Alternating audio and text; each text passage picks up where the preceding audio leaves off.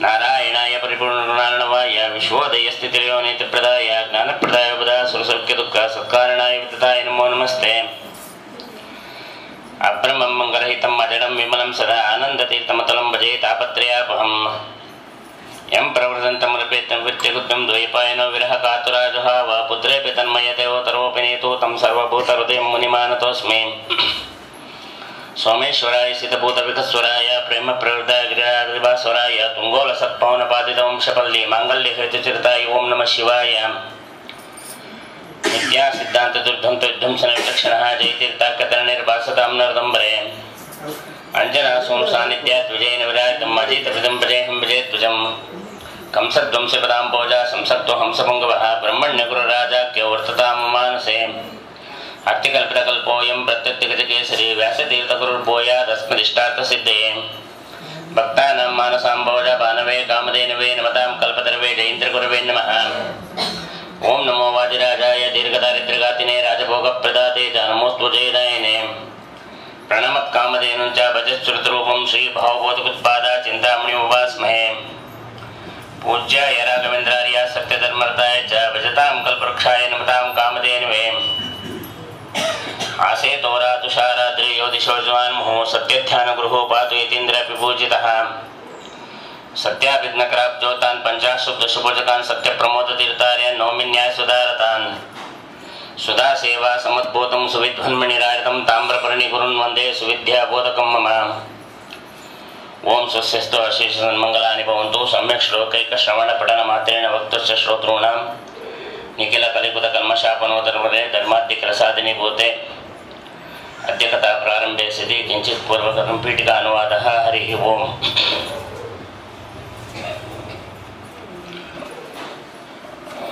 ಪ್ರಪಂಚದಲ್ಲಿ ರಾಮಾಯಣ, ಮಹಾಭಾರತ ಎಂದು ಗ್ರಂಥಗಳ ರಚನೆಯಾಯಿತು. ಅವತ್ತಿನಿಂದ ಬಹಳಷ್ಟು ಜನ ಕವಿಗಳು ಬಹಳ ರೀತಿಯಲ್ಲಿ ಪ್ರಯತ್ನವನ್ನು ಪಟ್ಟಿದ್ದಾರೆ. ಅದ್ಯಾಪಿ ಆಧುನಿಕ ಕವಿಗಳು ಸಹ ಪ್ರಯತ್ನ ಪಟ್ಟಿದ್ದಾರೆ. ಯಾರಿಗೂ ಸಂಪೂರ್ಣ ಅರ್ಥ ಆಗಿಲ್ಲ. ಮಹಾಭಾರತದಲ್ಲಿ ಏನು ಹೇಳಿದ್ದಾರೆ ಅನ್ನತಕ್ಕಂಥದ್ದನ್ನು ಯಾಕೆ ಅರ್ಥ ಮಾಡ್ಕೊಳ್ಳಿಕ್ಕಾಗಿಲ್ಲ ಅಂತಂದರೆ, ಅವರು ಯಾತಕ್ಕೆ ಬಂದಿದ್ದಾರೆ, ಯಾತಕ್ಕೆ ರಚನೆ ಮಾಡಿದ್ರು ಅನ್ನೋದೇ ಇನ್ನ ಅರ್ಥ ಆಗಿಲ್ಲ ಅಂತ ಆಧುನಿಕ ಕವಿಗಳು ಹೇಳ್ತಾ ಇದ್ದಾರೆ. ಮಹಾಭಾರತ ರಚನೆ ಆಗಿದ್ದೆ ಯಾತಕ್ಕೆ ಅಂತಲೇ ಗೊತ್ತಿಲ್ಲ. ರಚನೆ ಆಗಿದ್ದು ಗೊತ್ತು. ಅದನ್ನ ನೋಡಿ ಎಷ್ಟೋ ಕಾ ಭಾಸ ಬಾಣಭಟ್ಟ, ಎಲ್ಲರೂ ನಾಟಕಗಳು, ಕಾವ್ಯಗಳು ಎಲ್ಲ ಬರೆದಿದ್ದಾರೆ ಅವರು. ಕೆಲವು ಭಾಗವನ್ನೇ ತೆಗೆದುಕೊಂಡು ಅದೊಂದೇ ಒಂದೊಂದು ನಾಟಕಗಳ ಥರ ಮಾಡಿದ್ದಾರೆ. ಊರುಭಂಗ, ದ್ರೌಪದಿ ವಸ್ತ್ರಾಪಹರಣ ಈ ರೀತಿಯಾಗಿ ಹಲವಾರು ಮಾಡಿದ್ದಾರೆ. ಆದರೆ ಕೊನೆಯಲ್ಲಿ ಅವರು ಸಹ ನಾಟಕವನ್ನು ಅಂತ್ಯ ಮಾಡೋ ಕಾಲದಲ್ಲಿ ಹೇಳ್ತಾ ಇದ್ದಾರೆ. ಇದೆಲ್ಲ ನನ್ನ ಭ್ರಮೆ. ಅವ್ರಿಗೆ ಹೇಗೆ ಬರೆದಿದ್ರು ನಮಗೆ ಗೊತ್ತಿಲ್ಲ ಅಂತ ಅವರೇ ಹೇಳಿ ಒಪ್ಕೊಂಡಿದ್ದಾರೆ. ಅದೇ ರೀತಿಯಲ್ಲಿ ಮಹಾರುದ್ರ ದೇವರು ಒಂದು ಕಡೆ ಹೇಳ್ತಾರೆ, ನಾನು ದಕ್ಷ ಪ್ರಜಾಪತಿ ಬಂದಾಗ, ಯಾಗವನ್ನು ಮಾಡ್ತಾ ಇದ್ದ ಕಾಲದಲ್ಲಿ ದಕ್ಷ ಪ್ರಜಾಪತಿ ಬಂದಾಗ ನಾನು ನಮಸ್ಕಾರ ಮಾಡಲಿಲ್ಲ ಅಂತ ಹೇಳಿ ನನ್ನನ್ನು ಬಾಯಿಗೆ ಬಂದಂತೆ ಬೈದು ತಿರಸ್ಕಾರವನ್ನು ಮಾಡಿ, ಇವನು ಅಮಂಗಲ ಸದಾಕಾಲದಲ್ಲಿ ರುದ್ರಭೂಮಿಯಲ್ಲಿರತಕ್ಕಂಥವನು ಇವನಿಗೆ ನಾ ಹೆಣ್ಣು ಕೊಟ್ಬಿಟ್ಟೆ, ಅನ್ಯಾಯ ಆಯಿತು.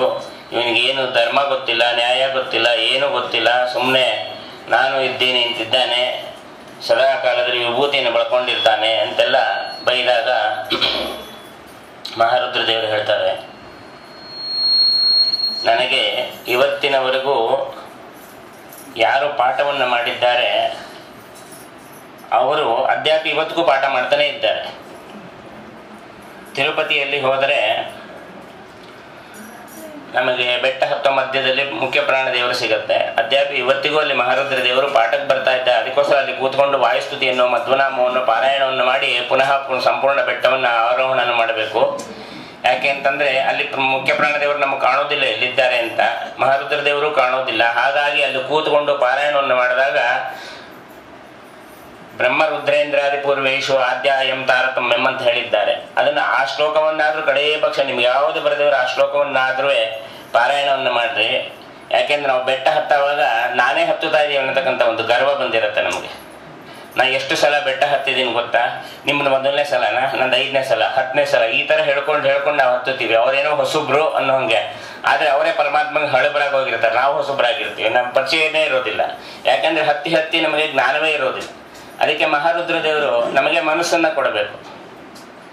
ಶಿವಸ್ತುತಿ ಅಂತ ಮಾಡಿದ್ದಾರೆ. ಒಟ್ಟು ದಾಸರಾಯರು ಮಾಡಿರ್ತಕ್ಕಂಥ ದೇವರ ನಾಮಗಳು ಮೂರು ಸಾವಿರದ ಎಂಟುನೂರು ದೇವರ ನಾಮಗಳಿದೆ ಮೂರು ಸಾವಿರದ ಒಂಬೈ ಏಳ್ನೂರ ತೊಂಬತ್ತೊಂಬತ್ತು ದೇವ್ರ ನಾಮ ದಾಸರಾಯರುಗಳೆಲ್ಲ ಮಾಡಿರ್ತಕ್ಕಂಥ ಮಹಾರುದ್ರ ದೇವರ ಮೇಲೆ ದೇವರ ನಾಮಗಳಿವೆ ಇನ್ನು ಅಪರೋಕ್ಷ ಜ್ಞಾನಿಗಳು ಮಾಡಿರ್ತಕ್ಕಂಥ ಮಹಾರುದ್ರ ದೇವರ ಸ್ತೋತ್ರಗಳು ಶಿವಪಂಚಕ, ಶಿವಸ್ತೋತ್ರ ಅಂತ ಹೇಳಿ ಬಹಳಷ್ಟು ಸ್ತೋತ್ರಗಳು ಮಾಡಿದ್ದಾರೆ. ಅದು ಆರುನೂರ ಎಂಬತ್ತೆರಡು ಸ್ತೋತ್ರಗಳು ಈಗ ಸಿಕ್ಕಿದೆ. ಇನ್ನು ಮುನ್ನೂರ ಐವತ್ತು ಸ್ತೋತ್ರಗಳನ್ನು ಹುಡುಕ್ತಾ ಇದ್ದೀವಿ. ಈ ರೀತಿಯಲ್ಲಿ ಇರತಕ್ಕಂಥದ್ದು ಮಹಾರುದ್ರ ದೇವರು ಮಾಡಿರ್ತಕ್ಕಂಥದ್ದು. ಇಲ್ಲಿ ಮಹಾರುದ್ರ ದೇವರ ಸ್ತೋತ್ರವನ್ನು ನಾವು ಮಾಡ್ಬೋದಾ, ಮಾಡಬಾರ್ದ ಅನ್ನತಕ್ಕಂಥದ್ದು ಕೆಲವರಲ್ಲಿ ಜಿಜ್ಞಾಸೆ. ನಾವು ವೈಷ್ಣವರು ಮಹಾರುದ್ರ ದೇವರಿಗೆ ನಾವು ನಮಸ್ಕಾರವನ್ನು ಮಾಡ್ಬೋದಾ? ಮಹಾರುದ್ರ ದೇವರು ವಿಭೂತಿ ಹಚ್ಕೊಂಡಿರ್ತಾರೆ ಅಂತ ಎಷ್ಟೋ ಜನ ಈಗ ಒಂದು ಇನ್ನೊಂದು ತಂಡ ಬಂದಿದೆ, ವೀರ ವೈಷ್ಣವರು ಅಂತ ಹೇಳಿ. ಅವರು ಆನೆ ಏನಾದ್ರು ಕಾಡಿನಲ್ಲಿ ಅಟ್ಟಿಸ್ಕೊಂಡು ಬಂದರೆ ನಾವು ಆನೆ ಸಿಕ್ಕಿ ಪ್ರಾಣ ಬಿಡ್ತೇವೆ ಹೊರತು ಅಲ್ಲಿ ರುದ್ರದೇವ್ರ ಗುಡಿ ಇದ್ರೆ ಹೋಗಿ ರಕ್ಷಣೆ ತಗೊಳ್ಳೋದಿಲ್ಲ ಅಂತಾರೆ. ಅಂತ ಅವರು ವೀರ ವೈಷ್ಣವರು ಅಂತ ಹೇಳಿ ಬಂದಿದ್ದಾರೆ. ಆ ರೀತಿಯಲ್ಲಿ ನಾವು ಇರಬಾರ್ದು. ಯಾಕೆ ನಮ್ಮ ದೇಹದಲ್ಲಿ ನಾಭ್ಯೋ ಹೃದಸ್ತಾತ್ ದೇವತಾಹ ಅದ ಅಧಸ್ತಾತು ಪಿತರಹ ಅಂತ ಹೇಳಿದ್ದಾರೆ. ನಾಭಿಯಿಂದ ಕೆಳಭಾಗದಲ್ಲಿ ಪಿತೃದೇವತೆಗಳಿದ್ದಾರೆ. ನಾಭಿಯಿಂದ ಮೇಲೆ ಎಲ್ಲ ದೇವತೆಗಳಿದ್ದಾರೆ. ಪರೀಕ್ಷಿತ್ ರಾಜ ಅದೇ ಭಯ ಆಗಿದ್ದ ಅವನಿಗೆ. ಅವನಿಗೆ ಶಾಪದ ಭಯ ಇರಲಿಲ್ಲ. ಪಾಪದ ಭಯ ಬಂದಿತ್ತು ಅವನಿಗೆ. ಶಾಪ ಕೊಟ್ಟಿದ್ದಾರೆ, ತಕ್ಷಕ ಬಂದು ಕಚ್ಚುತ್ತಾನೆ. ನಾ ಕಚ್ಚಿದ ಮೇಲೆ ಸ್ವರ್ಗಕ್ಕೆ ಹೋಗ್ತೀನೋ, ನರ್ಕಕ್ಕೆ ಹೋಗ್ತೀನೋ, ಅದು ಬೇಕಾಗಿಲ್ಲ. ಅದು ಇಷ್ಟೊಂದು ಪಾಪ ಸಂಘಟನೆಯನ್ನು ಮಾಡಿದೆ. ನಾನು ಮಾಡಿರ್ತಕ್ಕಂಥ ಪಾಪದಿಂದ ನಮ್ಮ ಪಿತೃಗಳು, ಪಾಂಡವರು ಎಲ್ಲರೂ ಸಹ ನರಕಕ್ಕೆ ಹೋಗಿ ಬೀಳ್ತಾರೋ ಅನ್ನತಕ್ಕಂಥ ಭಯ ಬಂದ್ಬಿಡ್ತ ಅವನಿಗೆ.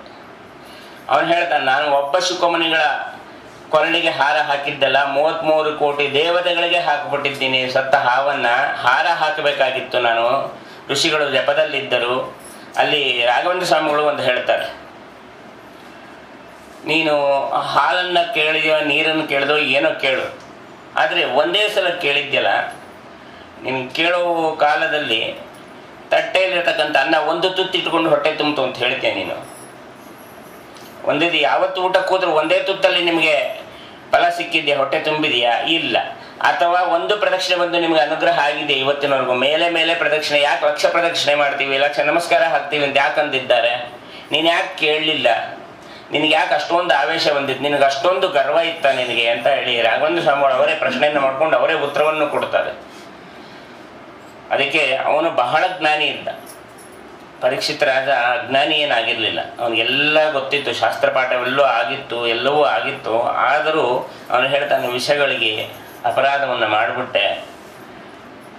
ಈಗ ನಾನು ಮಾಡಿರ್ತಕ್ಕಂಥ ಅಪರಾಧದಿಂದ ಪಿತೃದೇವತೆಗಳು ನಾ ಮುಕ್ತಿಯನ್ನು ಗೊಳಿಸಬೇಕಾಗಿರೋದು ನನ್ನ ಧರ್ಮ. ಅದಕ್ಕೋಸ್ಕರವಾಗಿ ನಾನು ಪ್ರಾಯೋಪವೇಶ ಕೂತ್ಕೋತೀನಿ ಅಂತ ಗಂಗಾ ನದಿಯಲ್ಲಿ ಕೂತಾಗ ಅಲ್ಲಿ ಹೇಳ್ತಾರೆ, ಈ ಗಂಗಾ ನದಿ, ನದಿಯಲ್ಲಿ ಸ್ನಾನವನ್ನು ಮಾಡಿದ್ರೆ ನಮಗೆ ಪಾಪವು ಕಳೆಯುತ್ತೆ. ಕಲ್ಮಶ, ಅಂತಃಕರಣದ ಕಲ್ಮಶವನ್ನು ನಾಶವನ್ನು ಮಾಡುತ್ತೆ. ಎಲ್ಲವನ್ನು ಮಾಡುತ್ತೆ. ಆದರೆ ಒಂದು ಕೊಡೋದಿಲ್ಲ, ಅದಕ್ಕೆ ಶಕ್ತಿ ಇಲ್ಲ. ಮೋಕ್ಷ. ಮೋಕ್ಷವನ್ನು ಕೊಡತಕ್ಕಂಥ ಶಕ್ತಿ ಈ ಗಂಗೆಗಿಲ್ಲ ಆ ಗಂಗ್, ನಿನಗೆ ಮೋಕ್ಷ ಕೊಡತಕ್ಕಂಥ ಗಂಗಾ ಸ್ನಾನ ನಾನು ಮಾಡಿಸ್ತೀನಿ. ಆ ಗಂಗಾ ಯಾವುದು ಅಂತಂದ್ರೆ ಶ್ರೀಮದ್ ಭಾಗವತ ಅಂತ ಹೇಳಿದ್ರು. ಆ ಗಂಗಾ ಸ್ನಾನವನ್ನು ನಿನಗೆ ಮಾಡಿಸ್ತೀನಿ ನಾನು ಕೂತ್ಕೊಂತ ಹೇಳಿ ಶುಕಾಚಾರ್ಯರು ಹೇಳಿದ್ರು. ಅವಾಗ ಅದೇ ನಾರಾಯಣಂ ಗುಣ ಸರ್ವ ಉದೀರ್ಣಂ ದೋಷವರ್ಜಿತಂ ನೇಯಂ ಗಮ್ಯಂ ಗುರುಂ ಶಾಪಿ ನತ್ವಾ ಸೂತ್ರಾರ್ಥ ಮುಚ್ಚತೆ ಅಂತ ಹೇಳಿ ಸ್ತೋತ್ರವನ್ನು ಮಾಡುವಾಗ ಎಲ್ಲರೂ ಸ್ತೋತ್ರವನ್ನು ಮಾಡಿದ್ದಾರೆ. ನರಂಚೈವ ನರೋತ್ತಮಂ ಅಂತ ಹೇಳ್ತಾರೆ. ಅಲ್ಲಿ ಮಹಾರುದ್ರ ದೇವರನ್ನ ಬಿಟ್ಟಿದ್ದಾರೆ. ಶುಕಾಚಾರ್ಯರು ಮಹಾರುದ್ರ ದೇವರಿಗೆ ಯಾಕೆ ನಮಸ್ಕಾರ ಮಾಡಲಿಲ್ಲ ಅಂತ ಕೆಲವರು ಪ್ರಶ್ನೆ. ಯಾಕೆ ತಾವೇ ಮಹಾರುದ್ರ ದೇವರು ಅವ್ರಿಗೆ ಅವರೇ ನಮಸ್ಕಾರ ಮಾಡ್ಕೊಳ್ಳೋ ಹಾಗಿಲ್ಲ. ನಮ್ಮಲ್ಲಿ ನಾವು ಮಾಡ್ಕೊಳ್ತೀವಿ ಇವತ್ತು ನಾನು ಎಷ್ಟು ದೊಡ್ಡವನು ಗೊತ್ತಾ? ನಾನು ಎಂಥ ವಂಶದಿಂದ ಬಂದಿದ್ದೀನಿ ಗೊತ್ತಾ? ನನಗೆ ಎಷ್ಟು ವಿದ್ಯೆ ಇದೆ, ನನಗೆ ರೂಪ ಇದೆ ಅಲಂಕಾರ ಇದೆ, ಇದಿದೆ ಅಂದ್ಕೊಂಡು ನಮಗೆ ನಾವೇ ಬೆಲೆ ಕೊಟ್ಕೋತೀವಿ ನಮಗೆ ಬೆಲೆ ಕೊಡಲಿಲ್ಲ ಅಂತ ಇನ್ನೊಬ್ಬರನ್ನ ಅವಮಾನನೂ ಮಾಡ್ತೀವಿ ಆ ರೀತಿಯಲ್ಲಿ ಶುಕಾಚಾರ್ಯರು ಮಾಡಿಲ್ಲ ಅನ್ನೋದನ್ನು ತಿಳ್ಕೊಂಡು ನಾವು ನಮಗೆ ಬೆಲೆ ಕೊಟ್ಕೊಳ್ಳೋದನ್ನು ಬಿಡಬೇಕು. ಮತ್ತು ಮಹಾರುದ್ರ ದೇವರ ಶಿವಸ್ತುತಿಯಲ್ಲಿ ಹೇಳ್ತಾರೆ, ಶಿವ ಅನ್ನೋದಕ್ಕೆ ಅರ್ಥವನ್ನೇ ಸತ್ಯಧರ್ಮ ತೀರ್ಥರು ಒಟ್ಟು ಏಳ್ನೂರ ಐವತ್ತು ಪುಟ ಬರೆದಿಟ್ಟಿದ್ದಾರೆ. ಬರೀ ಶಿವ ಎರಡೇ ಅಕ್ಷರ. ಆ, ಶಿವ ಅಂತಂದ್ರೆ ನಮಗೆ ನಾವೇನು ಅನ್ಕೊಂಡಿದ್ದೀವಿ ಮಹಾರುದ್ರ ದೇವರು ಅನ್ಕೊಂಡಿದ್ದೀವಿ, ಅಥವಾ ಮಂಗ, ಮಂಗಳ ಅಂತ ಯಾರು ಹೇಳಿದ್ದಾರೆ, ಮಂಗಳ ಅಂತ ಅನ್ಕೊಂಡಿದ್ದೀವಿ ಅಂತ. ಈಗ ಸತ್ವ ಗುಣ ರಜೋ, ತಮೋ ಗುಣಗಳಿದೆ. ಈ ಸತ್ವ ಗುಣಕ್ಕೆ ಮಹಾಲಕ್ಷ್ಮಿ ಶ್ರೀದಿ ರೂಪದಿಂದ ಇದ್ದಾಳೆ, ತಮೋ ಗುಣಕ್ಕೆ ಭೂರೂಪ ದುರ್ಗಾ ರೂಪದಿಂದ ಇದ್ದಾಳೆ, ರಾಜಸ ಗುಣಕ್ಕೆ ಭೂರೂಪದಿಂದ ಇದ್ದಾಳೆ. ಶ್ರೀ ಸೂಕ್ತವನ್ನು ಪಾರಾಯಣವನ್ನು ಮಾಡಿದ್ರೆ ನಮಗೆ ಸಂಪತ್ತು ಅಭಿವೃದ್ಧಿ ಆಗುತ್ತೆ, ಅಂದರೆ ಸಾತ್ವಿಕತನ ಅಭಿವೃದ್ಧಿ ಆಗುತ್ತೆ. ಭೂಸೂಕ್ತವನ್ನು ಪಾರಾಯಣವನ್ನು ಮಾಡಿದ್ರೆ ನಮಗೆ ರಾಜಸುಗುಣ ಅಭಿವೃದ್ಧಿ ಆಗುತ್ತೋ, ಕಡಿಮೆ ಆಗುತ್ತೋ ಅನ್ನತಕ್ಕಂಥದ್ದು. ದುರ್ಗಾ ಸೂಕ್ತವನ್ನು ಪಾರಾಯಣವನ್ನು ಮಾಡಿದ್ರೆ ನಿಮ್ಗೆ ಒಳ್ಳೇದಾಗತ್ತೆ ಅಂತ ಹೇಳ್ಬಿಡ್ತಾರೆ. ಶ್ರೀ ಸೂಕ್ತವನ್ನು ಪಾರಾಯಣ ಮಾಡಿದ್ರೆ ಸಂಪತ್ತು ಬಂದಾಗ, ದುರ್ಗಾ ಸೂಕ್ತವನ್ನು ಪಾರಾಯಣ ಮಾಡಿದ್ರೆ ತಮಸ್ಸು ಬರ್ಬೇಕು ತಮೋ ಗುಣ ಬರ್ಬೇಕು ನಮಗೆ. ಯಾಕೆ ಬರೋದಿಲ್ಲ? ಹೌದಲ್ಲ? ಅದಕ್ಕೆ ಹೇಳ್ತಾ ಇದ್ದೇವೆ, ಇದು ಪತಿವ್ರತ ಇದ್ದಂಗೆ. ಕ್ಷೀರವ್ರತ, ಶಾಖವ್ರತ ಅಂದ್ರೆ ತರಕಾರಿಯನ್ನು ಬಿಡ್ತೀವಿ. ಪತಿವ್ರತ ಅಂದ್ರೆ ಪತಿನ ಬಿಡೋದಿಲ್ಲ ಅವರು. ಪತಿಯ ಜೊತೆಯಲ್ಲಿ ಇರತಕ್ಕಂಥ ವ್ರತ. ಆ ರೀತಿಯಲ್ಲಿ ಇರತಕ್ಕಂಥದ್ದು ಇದು ದುರ್ಗಾ ಸೂಕ್ತ ಮತ್ತು ಭೂಸೂಕ್ತ ದುರ್ಗಾ ಸೂಕ್ತವನ್ನು ಪಾರಾಯಣವನ್ನು ಮಾಡಿದ್ರೆ ನೂರ ಅರವತ್ತು ದಿವಸದೊಳಗೆ ನಿಮಗೆ ಖಂಡಿತವಾಗಿ ಫಲವನ್ನು ಕೊಡ್ತೀನಿ. ಯಾವುದೇ ಕಾರಣಕ್ಕೂ ತಪ್ಪಿಸೋದಿಲ್ಲ. ನಿಮ್ಗೆ ಹಾಗೆ ಫಲ ಸಿಗಲಿಲ್ಲ ಅಂದ್ರೆ ನನ್ನ ಹತ್ರ ಬಾ ಅಂತೇಳಿ ಕೃಷ್ಣ ಭಗವದ್ಗೀತೆಯಲ್ಲಿ ಹೇಳಿದ್ದಾನೆ.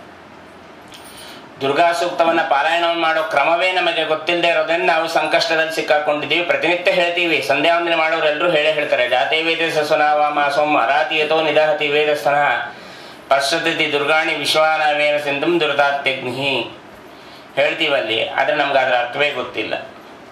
ಏನೂ ಗೊತ್ತಿಲ್ಲ ನಮಗೆ. ಸುಮ್ಮನೆ ದುರ್ಗಾ ಸ್ತುತಿ ಅಂತ ಒಂದು ಗೊತ್ತು ಅಷ್ಟೇ. ಅದು ಕೆಲವ್ರಿಗೆ ಗೊತ್ತು, ಕೆಲವ್ರಿಗೆ ಗೊತ್ತಿಲ್ಲ. ಅದು ಬೇರೆ ವಿಚಾರ. ನೀವು ಯಾವುದೇ ಒಂದು ಮಂತ್ರವನ್ನು ಹೇಳಬೇಕಾದ್ರೆ ತಂತ್ರವನ್ನು ಹೇಳಬೇಕಾದ್ರೆ ಅದರ ಅರ್ಥ ಸಂಪೂರ್ಣವಾಗಿ ತಿಳ್ಕೊಳ್ಬೇಕು. ಮಹಾರುದ್ರ ದೇವರು ನಮ್ಮ ಹೃದಯದಲ್ಲಿ ಬಂದು ಕೂತ್ಕೊಳ್ಬೇಕಾದ್ರೆ ಇನ್ನೊಬ್ಬ ಇದ್ದಾನೆ, ಮನಕ್ಕೆ ಅಭಿಮಾನಿಯಾಗಿರ್ತಕ್ಕಂಥವನು ಅವನ್ನ ಓಡಿಸಿ ಅವರು ಬಂದು ಕೂಡಬೇಕು. ಕಾಲನೇಮಿ, ಕಂಸ. ಕಾಲನೇಮಿನೇ ಕಂಸನಾಗಿ ಹುಟ್ಟಿದ್ದು. ಆ ಕಂಸ ಯಾವಾಗಲೂ ನಮ್ಮಲ್ಲಿ ಕೂತಿರ್ತಾನೆ. ಕೂತಿದ್ದಾಗ ಆ ಕಂಸ ಹೋಗಿ ಅಲ್ಲಿ ಮಹಾರುದ್ರ ದೇವರು ಬಂದರೆ ಒಳಗೆ ಕೃಷ್ಣ ಬರ್ತಾನೆ. ಆಗ ಈ ದೇಹ ಮಧುರಾಪಟ್ಟಣ ಆಗ್ಲಿಕ್ಕೆ ಸಾಧ್ಯ. ಮಧುರಾಪಟ್ಟಣದಲ್ಲಿ ಕೃಷ್ಣನ ಅವತಾರ ಆಯಿತು. ನಮ್ಮ ಮಧುರಾಪಟ್ಟಣ ಅಂದ್ರೆ ಈ ದೇಹದಲ್ಲಿ ಕೃಷ್ಣನ ಅವತಾರ ಆಗಬೇಕು ಅಂತಂದ್ರೆ ವಸುದೇವ ಮತ್ತು ದೇವಕಿ, ಕಶ್ಯಪ ಮತ್ತು ಅತಿಥಿಗಳೇ ವಸುದೇವ ದೇವಕಿ ಆಗಿ ಹುಟ್ಟಿರತಕ್ಕಂಥದ್ದು. ಅವರು ಏನು ಅಂದ್ರೆ ಜ್ಞಾನ ಮತ್ತು ಧರ್ಮಕ್ಕೆ ಸೂಚಕವಾಗಿರ್ತಕ್ಕಂಥವ್ರು, ಭಕ್ತಿ ಮತ್ತು ಧರ್ಮಕ್ಕೆ. ಧರ್ಮ ಅಥವಾ ಜ್ಞಾನ ಅಂತಂದ್ರೆ ಏನು ಅಂತ ತಿಳ್ಕೊಳ್ಬೇಕು. ನಾವೇನ್ ಅನ್ಕೊಂಡಿದ್ದೀವಿ? ಒಂದು ಒದ್ದೆ ಉಟ್ಕೊಂಡ್ಬಿಟ್ಟು ಬಂದವ್ರನ್ನೆಲ್ಲ ದೂರ ಕಳಿಸ್ಬಿಟ್ರೆ ನಾವು ಧರ್ಮ ಮಾಡ್ತಾ ಇದ್ದೀವಿ, ಮಡಿ ಮಾಡ್ತಾ ಇದ್ದೀವಿ. ಅಥವಾ ಏನೋ ಆಗಿದೆ ಅಂತ ಅಂದ್ಕೊಂಡು ನಾವು ಯಾರನ್ನೋ ಒಬ್ಬರನ್ನ ನಿಕೃಷ್ಟವಾಗಿ ಕಾಣ್ತಾ ಇದ್ದೀವಿ. ಇವತ್ತು ಹೇಳ್ತಾರೆ, ಈ ಜನ್ಮದಲ್ಲಿ ಬ್ರಾಹ್ಮಣ ಜನ್ಮ ಕೊಟ್ಟಿದ್ಯಪ್ಪ ನೀನು. ಮಹಾರುದ್ರ ದೇವರ ಅನುಗ್ರಹ ನಮಗೆ ಆಗಿದೆ ಅನ್ನೋದಕ್ಕೆ ನಾವು ಭಗವಂತನ ಕೀರ್ತನೆಯನ್ನು ಮಾಡ್ತಾ ಇದ್ದೀವಿ. ಮಹಾರುದ್ರ ದೇವರು ಒಂದು ಕ್ಷಣ ಕಾಲ ಆದರೂ ನಮ್ಮ ಚಿತ್ತದಲ್ಲಿ ಬಂದು ಕೂತಿದ್ದಾರೆ ಅಂತಕ್ಕಂಥ ಸಂತೋಷ ನಮಗಿದೆ. ನಾನು ಈಗ ಸದ್ಯಕ್ಕೆ ಇಷ್ಟು ಮಾಡಿರ್ತೀನಿ, ಮುಂದಿನ ಜನ್ಮದಲ್ಲಿ ಮಾಡ್ತೀನಿ ಅಂತ ಹೇಳಬೇಡ. ಪರೀಕ್ಷಿತರಾದರೆ ಹೇಳ್ತಾರೆ, ಕಲಿಯುಗ ಮುಂದೆ ಬಂದರೆ ನಿನಗೆ ಇವತ್ತು ಸಿಕ್ಕಿದೆ. ಮುಂದೆ ವಿಜಾತಿ ವಿವಾಹಗಳು ಮನೆಯಲ್ಲಿ ಆಗತಕ್ಕಂಥ ಸಂದರ್ಭಗಳು ಹೆಚ್ಚಿರ್ತವೆ. ಕಲಿಯುಗ ಆದ್ದರಿಂದ ಕಲಿಗೆ ಪ್ರಾಬಲ್ಯತೆ, ಆ ವಿಜಾತಿ ವಿವಾಹ ಆದಾಗ ಯಾರ ಮನೆಯಲ್ಲಿ ಆಗಿದೆ, ಯಾರಾಗಿದ್ದಾರೆ ಅವ್ರನ್ನ ಬಿಡು, ಮನೆಯವ್ರನ್ನೆಲ್ಲ ಬಿಡಬೇಡ ಅಂತ ಹೇಳ್ತಾರೆ. ಮನೆಯವ್ರದ್ದು ದೋಷ ಇರಲ್ಲ, ಯಾಕಂದ್ರೆ ಮನೆಯವರೆಲ್ಲ ಬುದ್ಧಿ ಹೇಳಿರ್ತಾರೆ. ಅವರು ಕೇಳದೆ ಹೋದ್ರೆ ಅವರ ಪ್ರಾರಬ್ಧ ಕರ್ಮನೂ ಇರುತ್ತೆ ಅಂತದ್ದು ಯಾಕಂದ್ರೆ ಕಲಿ ಹಾಳು ಮಾಡ್ಲಿಕ್ಕೆ ಬಂದಿರ್ತಾನೆ ಹೊರತು, ನಮ್ಮ ಎಲ್ಲಿ ಆಚಾರ ವಿಚಾರಗಳು ಹೆಚ್ಚಿರುತ್ತೆ ಅಲ್ಲಿ ಹಾಳು ಮಾಡ್ಲಿಕ್ಕೆ ಬರ್ತಾನೆ. ಬೇರೆ ಕಡೆ ಬರೋದಿಲ್ಲ. ಈಗ ಶೂದ್ರಾದ ಮನೆಗಳ ಮನೆಗೆ ಹೋಗಿ ಯಾಕೆ ಹೋಗೋದಿಲ್ಲ ಅನ್ನೋದು ಏನ್ ಮಾಡ್ಬೇಕು ಅಲ್ಲಿ? ಆಚಾರ ವಿಚಾರ ಅವ್ರು ಯಾವತ್ತೂ ಒಂದ್ ದಿವಸ, ಎರಡು ದಿವಸ ಮಾಡ್ತಾರೆ ಮಾಡೋ ದಿವಸ ಶುದ್ಧವಾಗಿ ಮಾಡ್ಬಿಡ್ತಾರೆ, ಪೂರ್ತಿ ಗಮನ ಇಟ್ಟಿರ್ತಾರೆ. ನಾವು ಪ್ರತಿನಿತ್ಯ ಮಾಡೋದ್ರಿಂದ ಗಮನನೇ ಇಡೋದಿಲ್ಲ. ಸಾಲಿಗ್ರೆ ನಾವು ಪ್ರತಿನಿತ್ಯ ತಿರುಪತಿಯಲ್ಲಿ ಪೂಜೆಯನ್ನು ಮಾಡತಕ್ಕಂಥವ್ರಾಗಲಿ, ದೊಡ್ಡ ದೊಡ್ಡ ದೇವತೆಗಳ ಪೂಜೆ, ಅಥವಾ ಸಣ್ಣ ಪುಟ್ಟ ಮಠಗಳಲ್ಲೇ ಹೋಗಿ ನೀವು ರಾಯರ ವೃಂದಾವನದ ಅರ್ಚಕರಿಗೆ ಯಾವ ರಾಯರ ಬೆಲೆನೇ ಇರೋದಿಲ್ಲ. ನಮ್ಮಷ್ಟು ಭಕ್ತಿ ಇರೋದಿಲ್ಲ. ಅದಕ್ಕೆ ಜಗನ್ನಾಥ ದಾಸರು ಹೇಳ್ತಾರೆ, ವೃಂದಾವನ ಪೂಜೆಯನ್ನ ಮಾಡ್ತಾರೆ ಅಂತ ಹೇಳಿ ಕಾಲಿಗೆ ಬಿದ್ದು ಬಿಡ್ಬಿಡ್ರಿ ನಿಮ್ಮ ಪುಣ್ಯ ಎಲ್ಲ ತಗೊಂಡ್ಬಿಡ್ತಾರೆ ವೃಂದಾವನ ಅರ್ಚಕರು, ಸ್ನಾನ, ಸಂಧ್ಯಾವನ ಏನೂ ಇರೋದಿಲ್ಲ, ನೀವೇನು ದಕ್ಷಿಣ ಕೊಡ್ತೀರ, ಏನು ಮಾಡ್ತೀರಾ, ನೀವು ನಿಮ್ಮ ಕಡೆ ಗಮನ ಇರುತ್ತೆ ಅವ್ರಿಗೆ, ರಾಯರ ಕಡೆ ಗಮನ ಇರೋದಿಲ್ಲ ಅವ್ರಿಗೆ. ಬಂದವ್ರು ಯಾರು, ದುಡ್ಡಿರೋರ, ಕಾಸಿರೋರ, ನಮ್ಗೆ ಎಷ್ಟು ಕೊಡ್ತಾರೆ, ಏನು ಮಾಡ್ತಾರೆ, ಯಾರ ಜೊತೆ ಮಾತಾಡ್ತಾರೆ, ಈ ಕಡೆ ಗಮನ, ಅದ್ರ ಬದಲು ರಾಯರ ಕಡೆ ಗಮನ ಹರಿಸಿದ್ರೆ ಎಷ್ಟು ಚೆನ್ನಾಗಿರುತ್ತೆ. ನಮ್ಮ ವೃಂದಾವನದಲ್ಲಿ ಎಷ್ಟು ಕಲ್ಲಿದೆ ಅಂತ ಕೇಳಿದ್ರೆ ಗೊತ್ತಿಲ್ಲ ಅವ್ರಿಗೆ. ವೃಂದಾವನದಲ್ಲಿ ಶಂಖಚಕ್ರ ಎಷ್ಟಿದೆ ಗೊತ್ತಿಲ್ಲ, ಪದ್ಮ ಎಷ್ಟಿದೆ ಅಂದ್ರೆ ಗೊತ್ತಿರೋದಿಲ್ಲ ಅವ್ರಿಗೆ. ಪ್ರತಿನಿತ್ಯ ಪೂಜೆ ಮಾಡ್ತಾರೆ. ಆದ್ರೆ ಯಾರೋ ಒಬ್ಬ ವ್ಯಕ್ತಿ ಮಹಾನುಭಾವ ಹೋಗಿರ್ತಕ್ಕಂಥವನು, ಅಲ್ಲಿರ್ತಕ್ಕಂಥ ಶಂಖ, ಚಕ್ರ, ಪದ್ಮ ಎಲ್ಲವನ್ನು ಎಣಿಸ್ಕೊಂಡು ಆ ರಾಯರಲ್ಲಿ ಇಂತಿಂತ ಕಡೆ ಇಂತಿಂತದೇ ಇಂತ ಮನೇಲಿ ಕೂತ್ಕೊಂಡು ಚಿಂತನೆಯನ್ನು ಮಾಡಿಬಿಟ್ಟು ಪುಣ್ಯ ಕಟ್ಕೊಂಡ್ಬಿಡ್ತಾನೆ. ಹಾಗಾಗಿ ಒಂದು ಮಠದಲ್ಲಾಗಲಿ, ದೇವಸ್ಥಾನಗಳಾಗಲಿ, ಎಲ್ಲೇ ಆಗಲಿ ಒಬ್ಬ ಅರ್ಚಕರು ಶಾಶ್ವತವಾಗಿ ಇದ್ದಾರೆ ಅಂತಂದ್ರೆ ಅಲ್ಲಿ ನಿಷ್ಠೆಯಿಂದ ಪೂಜೆ ಮಾಡ್ತಾ ಇದ್ದಾರೆ ಅವರು ಅಂತ. ಇಲ್ಲ ಅಂತಂದ್ರೆ ನೀನು ಪಾಪವನ್ನು ಸಂಘಟನೆ ಮಾಡ್ಕೊಂಡಿದ್ದೆ, ನೀನು ಹೋಗು ಬೇರೆಯವ್ರನ್ನ ನಾನು ಕರ್ಸ್ಕೋತೀನಿ ಅಂತ ಹೇಳಿ ರಾಯರೇ ಕರ್ಸ್ಕೋತಾರೆ. ನಾವು ಸುಮ್ಮನೆ ಕಮಿಟಿಯವ್ರನ್ನ ಬೈತೀವಿ. ಅವ್ರು ಬಿಡಿಸ್ಬಿಟ್ರು, ಅವ್ರು ಹಿಂಗಂದ್ರು ಹಿಂಗಂದ್ರು ಕಮಿಟಿಯವ್ರ ಆಚಾರನ ಬೈತಾರೆ ಆಚಾರ ಕಮಿಟಿಯವ್ರನ್ನ ಬೈತಾರೆ. ಏನು ಮಾಡಬೇಕಾಗಿಲ್ಲ. ರಾಯರ ಚಿತ್ತಕ್ಕೆ ಯಾರು ಬೇಕೋ ಅವ್ರನ್ನ ಕರೆಸ್ಕೋತಾರೆ, ಯಾವಾಗ ಸೇವೆ ಬೇಕೋ ಅದನ್ನ ಮಾಡ್ಕೊಳ್ತಾರೆ. ಅದನ್ನ ಮಾಡ್ಕೊಳ್ಬೇಕಾದ್ರೆ ಮಹಾರುದ್ರ ದೇವರ ಅನುಗ್ರಹ ಬೇಕೇ ಬೇಕು. ಮಹಾರುದ್ರ ದೇವರು ಶಿ ಅಂತಂದ್ರೆ, ಶಿ ಅನ್ನತಕ್ಕಂಥದ್ದು ನಮಗೆ ಒಂದೇ ಒಂದು ಪದ, ಅಕ್ಷರ ಕಾಣಿಸುತ್ತೆ. ಅದರಲ್ಲಿ ಮುನ್ನೂರ ಅರವತ್ತೆರಡು ಅಕ್ಷರಗಳಿದೆ. ಶಮಯತೆ ಇತಿ ಧಮಯತ್ನಂ ತಸ್ಯೈವಾಂ ಪ್ರಜಾಭ್ಯಾಂ ತಿಷ್ಟಂತಿ ಏತಾವ್ಯಾಹ ಪ್ರಜಾಭ್ಯಾಹ ಕಾಲಯಂತಿ ನಾಮಯಂತಿ ತಸ್ಮಾತ್ ವಿಂದಂತಿ ದೇವಾನಾಂ ಶಿಕಾರಸ್ಯ ವಾಹ ಇತ್ಯಾದಿ ರೂಪೇಶು ತಿಷ್ಟಂತಿ ವಹ ಶಿವಃ ಅಂತ ಹೇಳ್ತಾರೆ. ಅಂದ್ರೆ ನಾವು ಧ್ಯಾನವನ್ನ ಮಾಡ್ಬಿಟ್ಟ ತಕ್ಷಣ ಅವನ ಅನುಗ್ರಹವನ್ನ ಮಾಡೋದಿಲ್ಲ. ಮಹಾರುದ್ರರು ಬಹಳ ಕರುಣಾಳುಗಳು ಒಪ್ಕೊಳ್ಳೋಣ. ಆದರೆ ನಾವು ಧ್ಯಾನ ಮಾಡಿದ ತಕ್ಷಣ ಕರುಣಾಳುಗಳು ಅಂದ ತಕ್ಷಣ ಅವ್ರಿಗೆ ನಮ್ಮ ಮೇಲೆ ನಂಬಿಕೆ ಬರಬೇಕು. ಇವತ್ತು ರಾಯರಿಗೆ ಸೇವೆಯನ್ನ ಮಾಡಿದ್ರೆ ನಮ್ಗೆ ಆಶೀರ್ವಾದವನ್ನು ಮಾಡ್ತಾರೆ, ಅನುಗ್ರಹ ಆಯಿತು ರಾಯರ ಸೇವೆ ಮಾಡಿ ಬಂದ್ವಿ, ನಮ್ಗೆ ಅನುಕೂಲ ಆಯಿತು ಅಂತ ಹೇಳ್ತೀವಿ.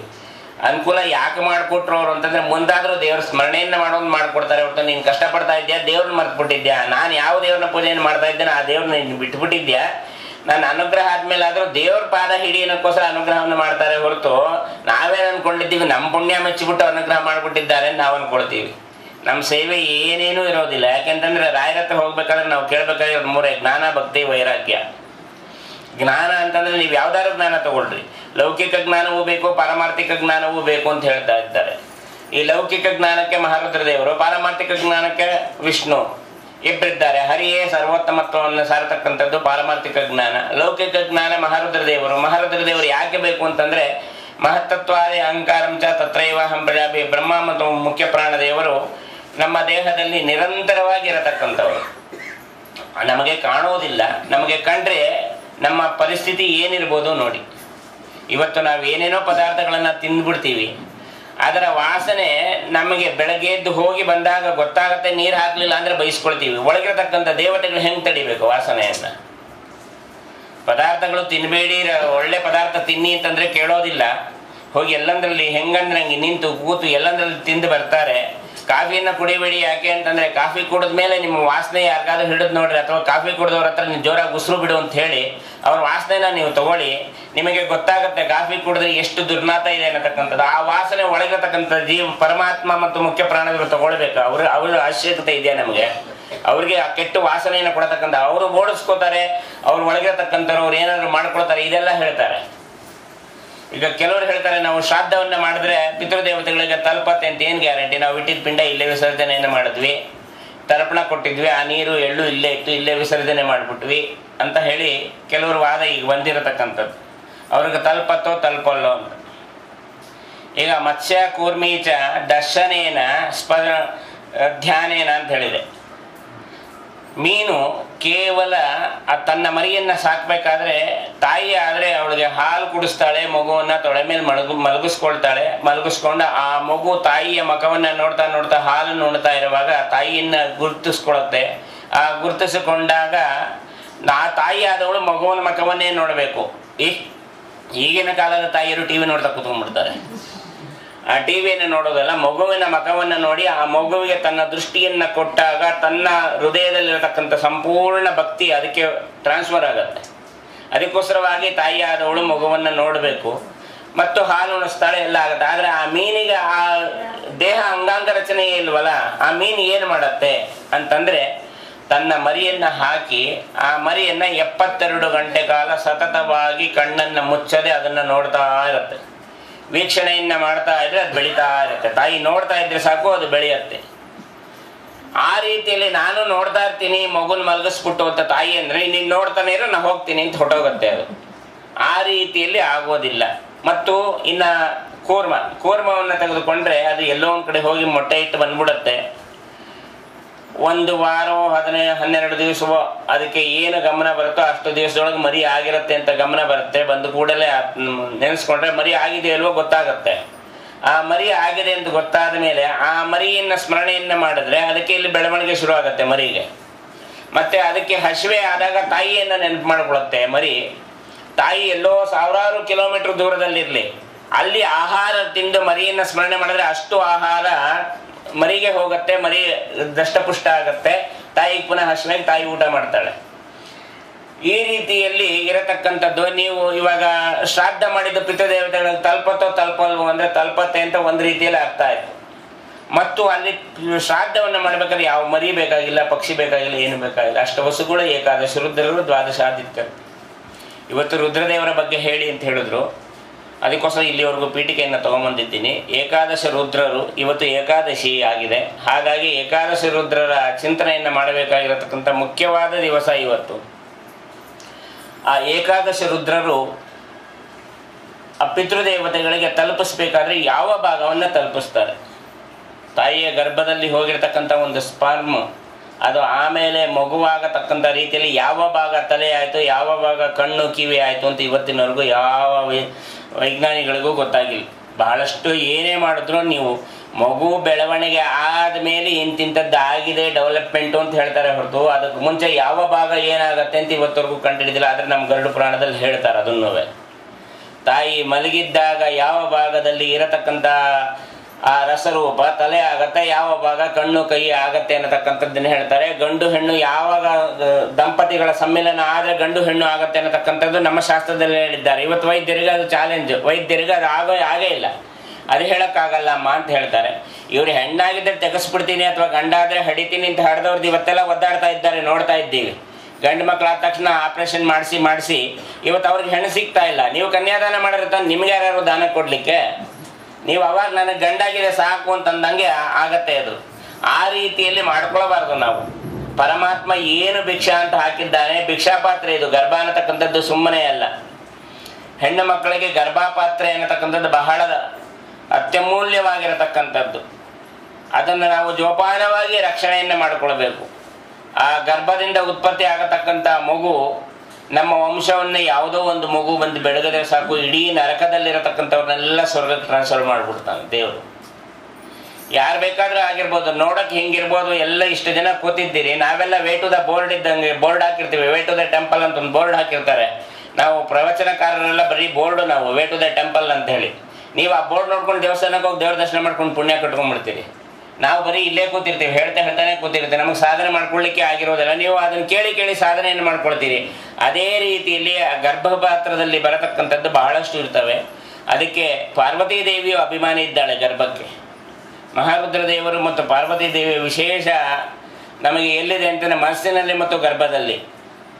ಗರ್ಭದಲ್ಲಿ ಪಾರ್ವತಿ ದೇವಿ ಪ್ರಶ್ನೆಯನ್ನು ಮಾಡತಕ್ಕಂಥ ಕಾಲದಲ್ಲಿ ಹೇಳ್ತಾಳೆ, ನನ್ನ ಗರ್ಭದಲ್ಲಿ ಬರತಕ್ಕಂಥ ಮಕ್ಕಳು ಎಷ್ಟೋ ಇವೆ. ಕೆಲವು ಒಂದು ದಿವಸಕ್ಕೆ ಮೃತಿಯನ್ನು ಹೊಂದತಕ್ಕಂಥದ್ದಿದೆ. ನೀವೇನು ಅಭಾಷನ್ ಅಂತೀರಿ? ಅದು ಮೃತಿ ಹೊಂದತಕ್ಕಂಥದ್ದಿದೆ. ಕೆಲವು ಇನ್ನೇನು ಗರ್ಭಸ್ರಾವ ಆಗಬೇಕು ಕೊನೆಯಲ್ಲಿ ಒಂಬತ್ತು ತಿಂಗಳು, ಹತ್ತು ದಿವಸ ಮುಗಿದಿದೆ, ಅವತ್ತು ಸಹ ಮೃತವನ್ನು ಹೊಂದುತ್ತಾ ಇದೆ. ಕೆಲವು ಆರು ತಿಂಗಳಿಗೆ ಮರಣ ಹೊಂದುತ್ತೆ ಇದಕ್ಕೆ ಕಾರಣ ಏನು?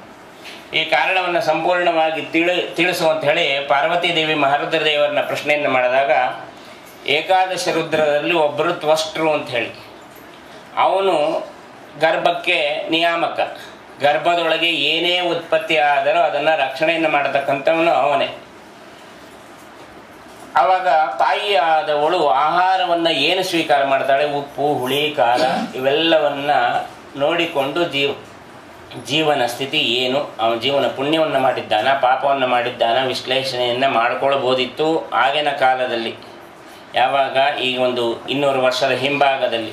ಈಗೆಲ್ಲ ಪದ್ಧತಿಗಳೇ ಬಿಟ್ಟಿರೋದ್ರಿಂದ ಯಾಕೆಂದ್ರೆ ನಾವೇ ಸ್ನಾನ ಸಂಧ್ಯಾನ ಸರಿಯಾಗಿ ಮಾಡಿದೆ ಹೆಂಡತಿನ ಸರಿಯಾಗಿ ಅಂದ್ರೆ ನೀವು ಮೊದಲು ಮಾಡೋದು ಕಲ್ತ್ಕೊಳ್ರಿ, ಆಮೇಲೆ ನಾವು ಮಾಡ್ತೀವಿ ಅಂತಾರೆ. ಹಾಗಾಗಿ ಹಾಗೆ ಆಗಬಾರ್ದು.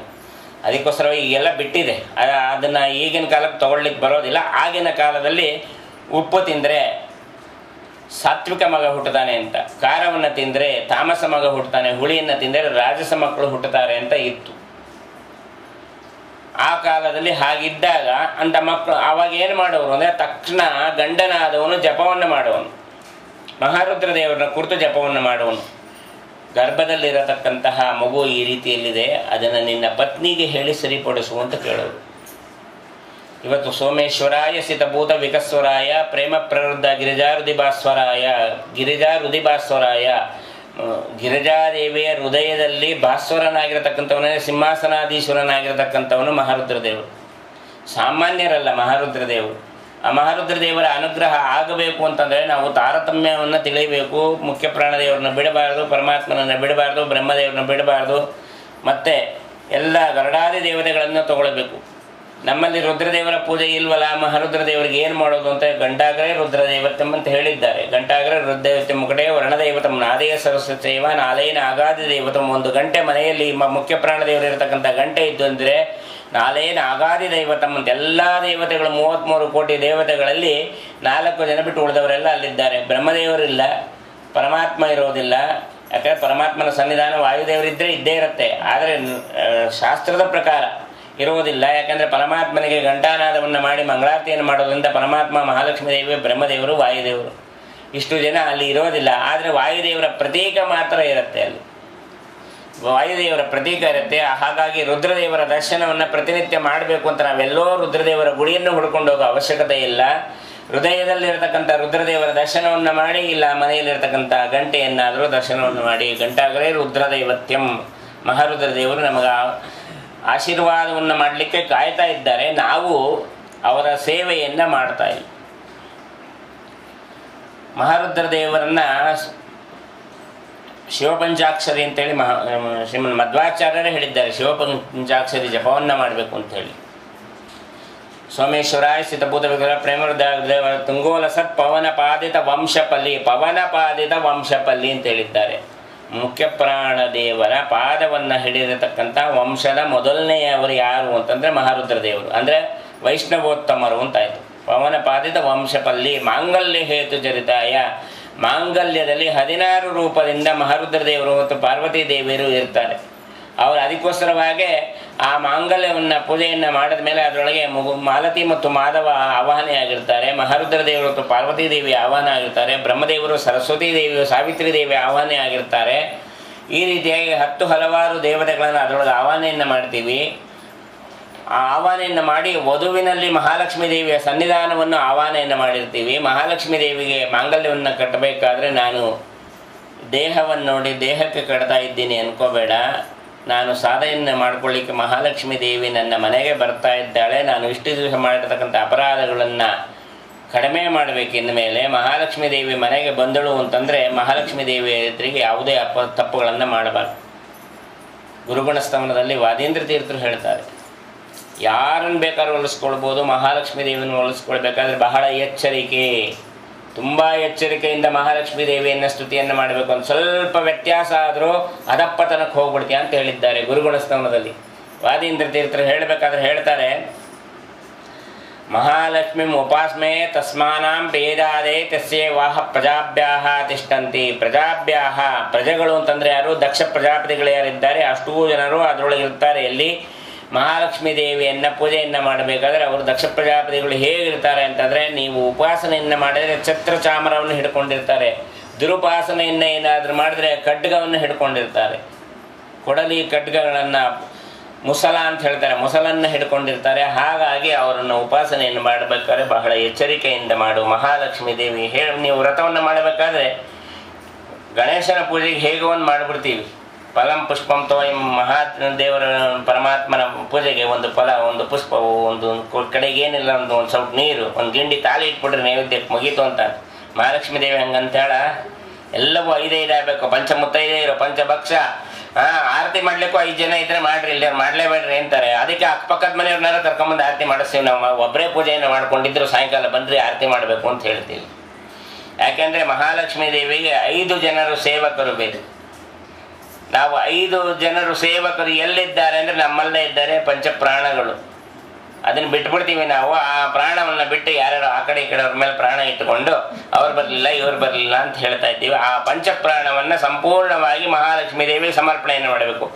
ಮಹಾಲಕ್ಷ್ಮೀ ದೇವಿಗೆ ಸಮರ್ಪಣೆಯನ್ನು ಮಾಡ್ಬೇಕಾದ್ರೆ ಹೇಗೆ ಮಾಡಬೇಕು ಅಂದರೆ ಮಹಾರುದ್ರ ದೇವರು ಹೇಳ್ತಾರೆ, ನೀವು ಅಂ ಲಕ್ಷ್ಮೀ ಅಂತ ಹೋಗಿ ಮಾಡಿದ್ರೆ ಆಗೋದಿಲ್ಲ.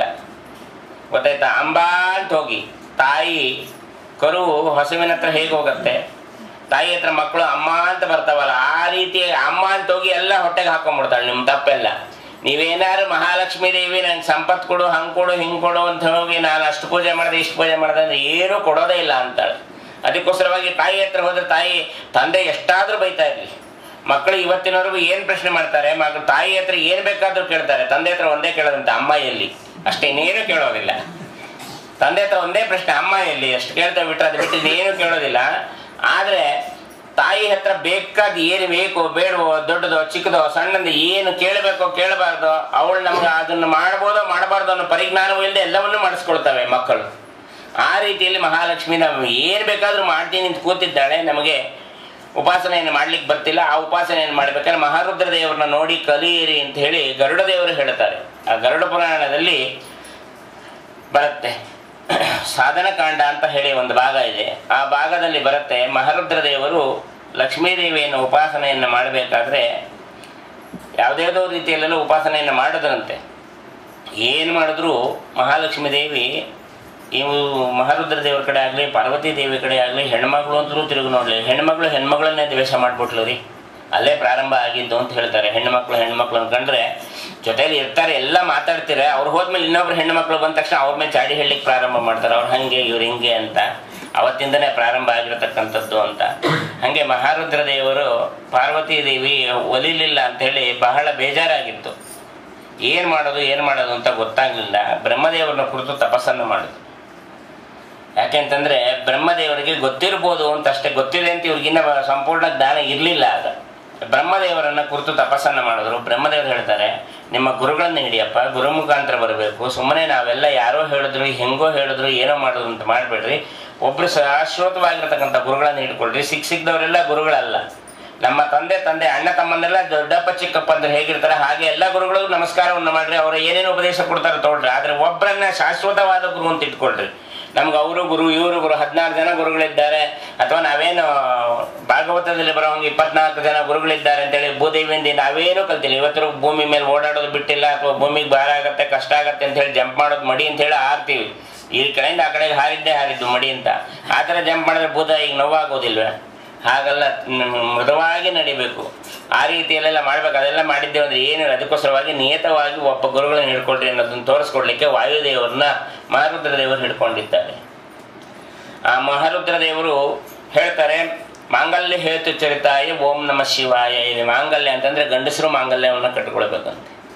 ಗಂಡಸರು ಮಾಂಗಲ್ಯ ಯಾವುದು ಅಂದರೆ ಬುದ್ಧಿ. ಬುದ್ಧಿ ಅನ್ನತಕ್ಕಂಥ ಮಾಂಗಲ್ಯ ಇದೆಯಲ್ಲ, ಇದು ಚಂಚಲ. ಒಂದು ಕ್ಷಣ ಇದ್ದಂಗೆ ಇನ್ನೊಂದು ಕ್ಷಣ ಇರೋದಿಲ್ಲ. ಇಲ್ಲಿ ಕೂತಿರ್ತೀವಿ.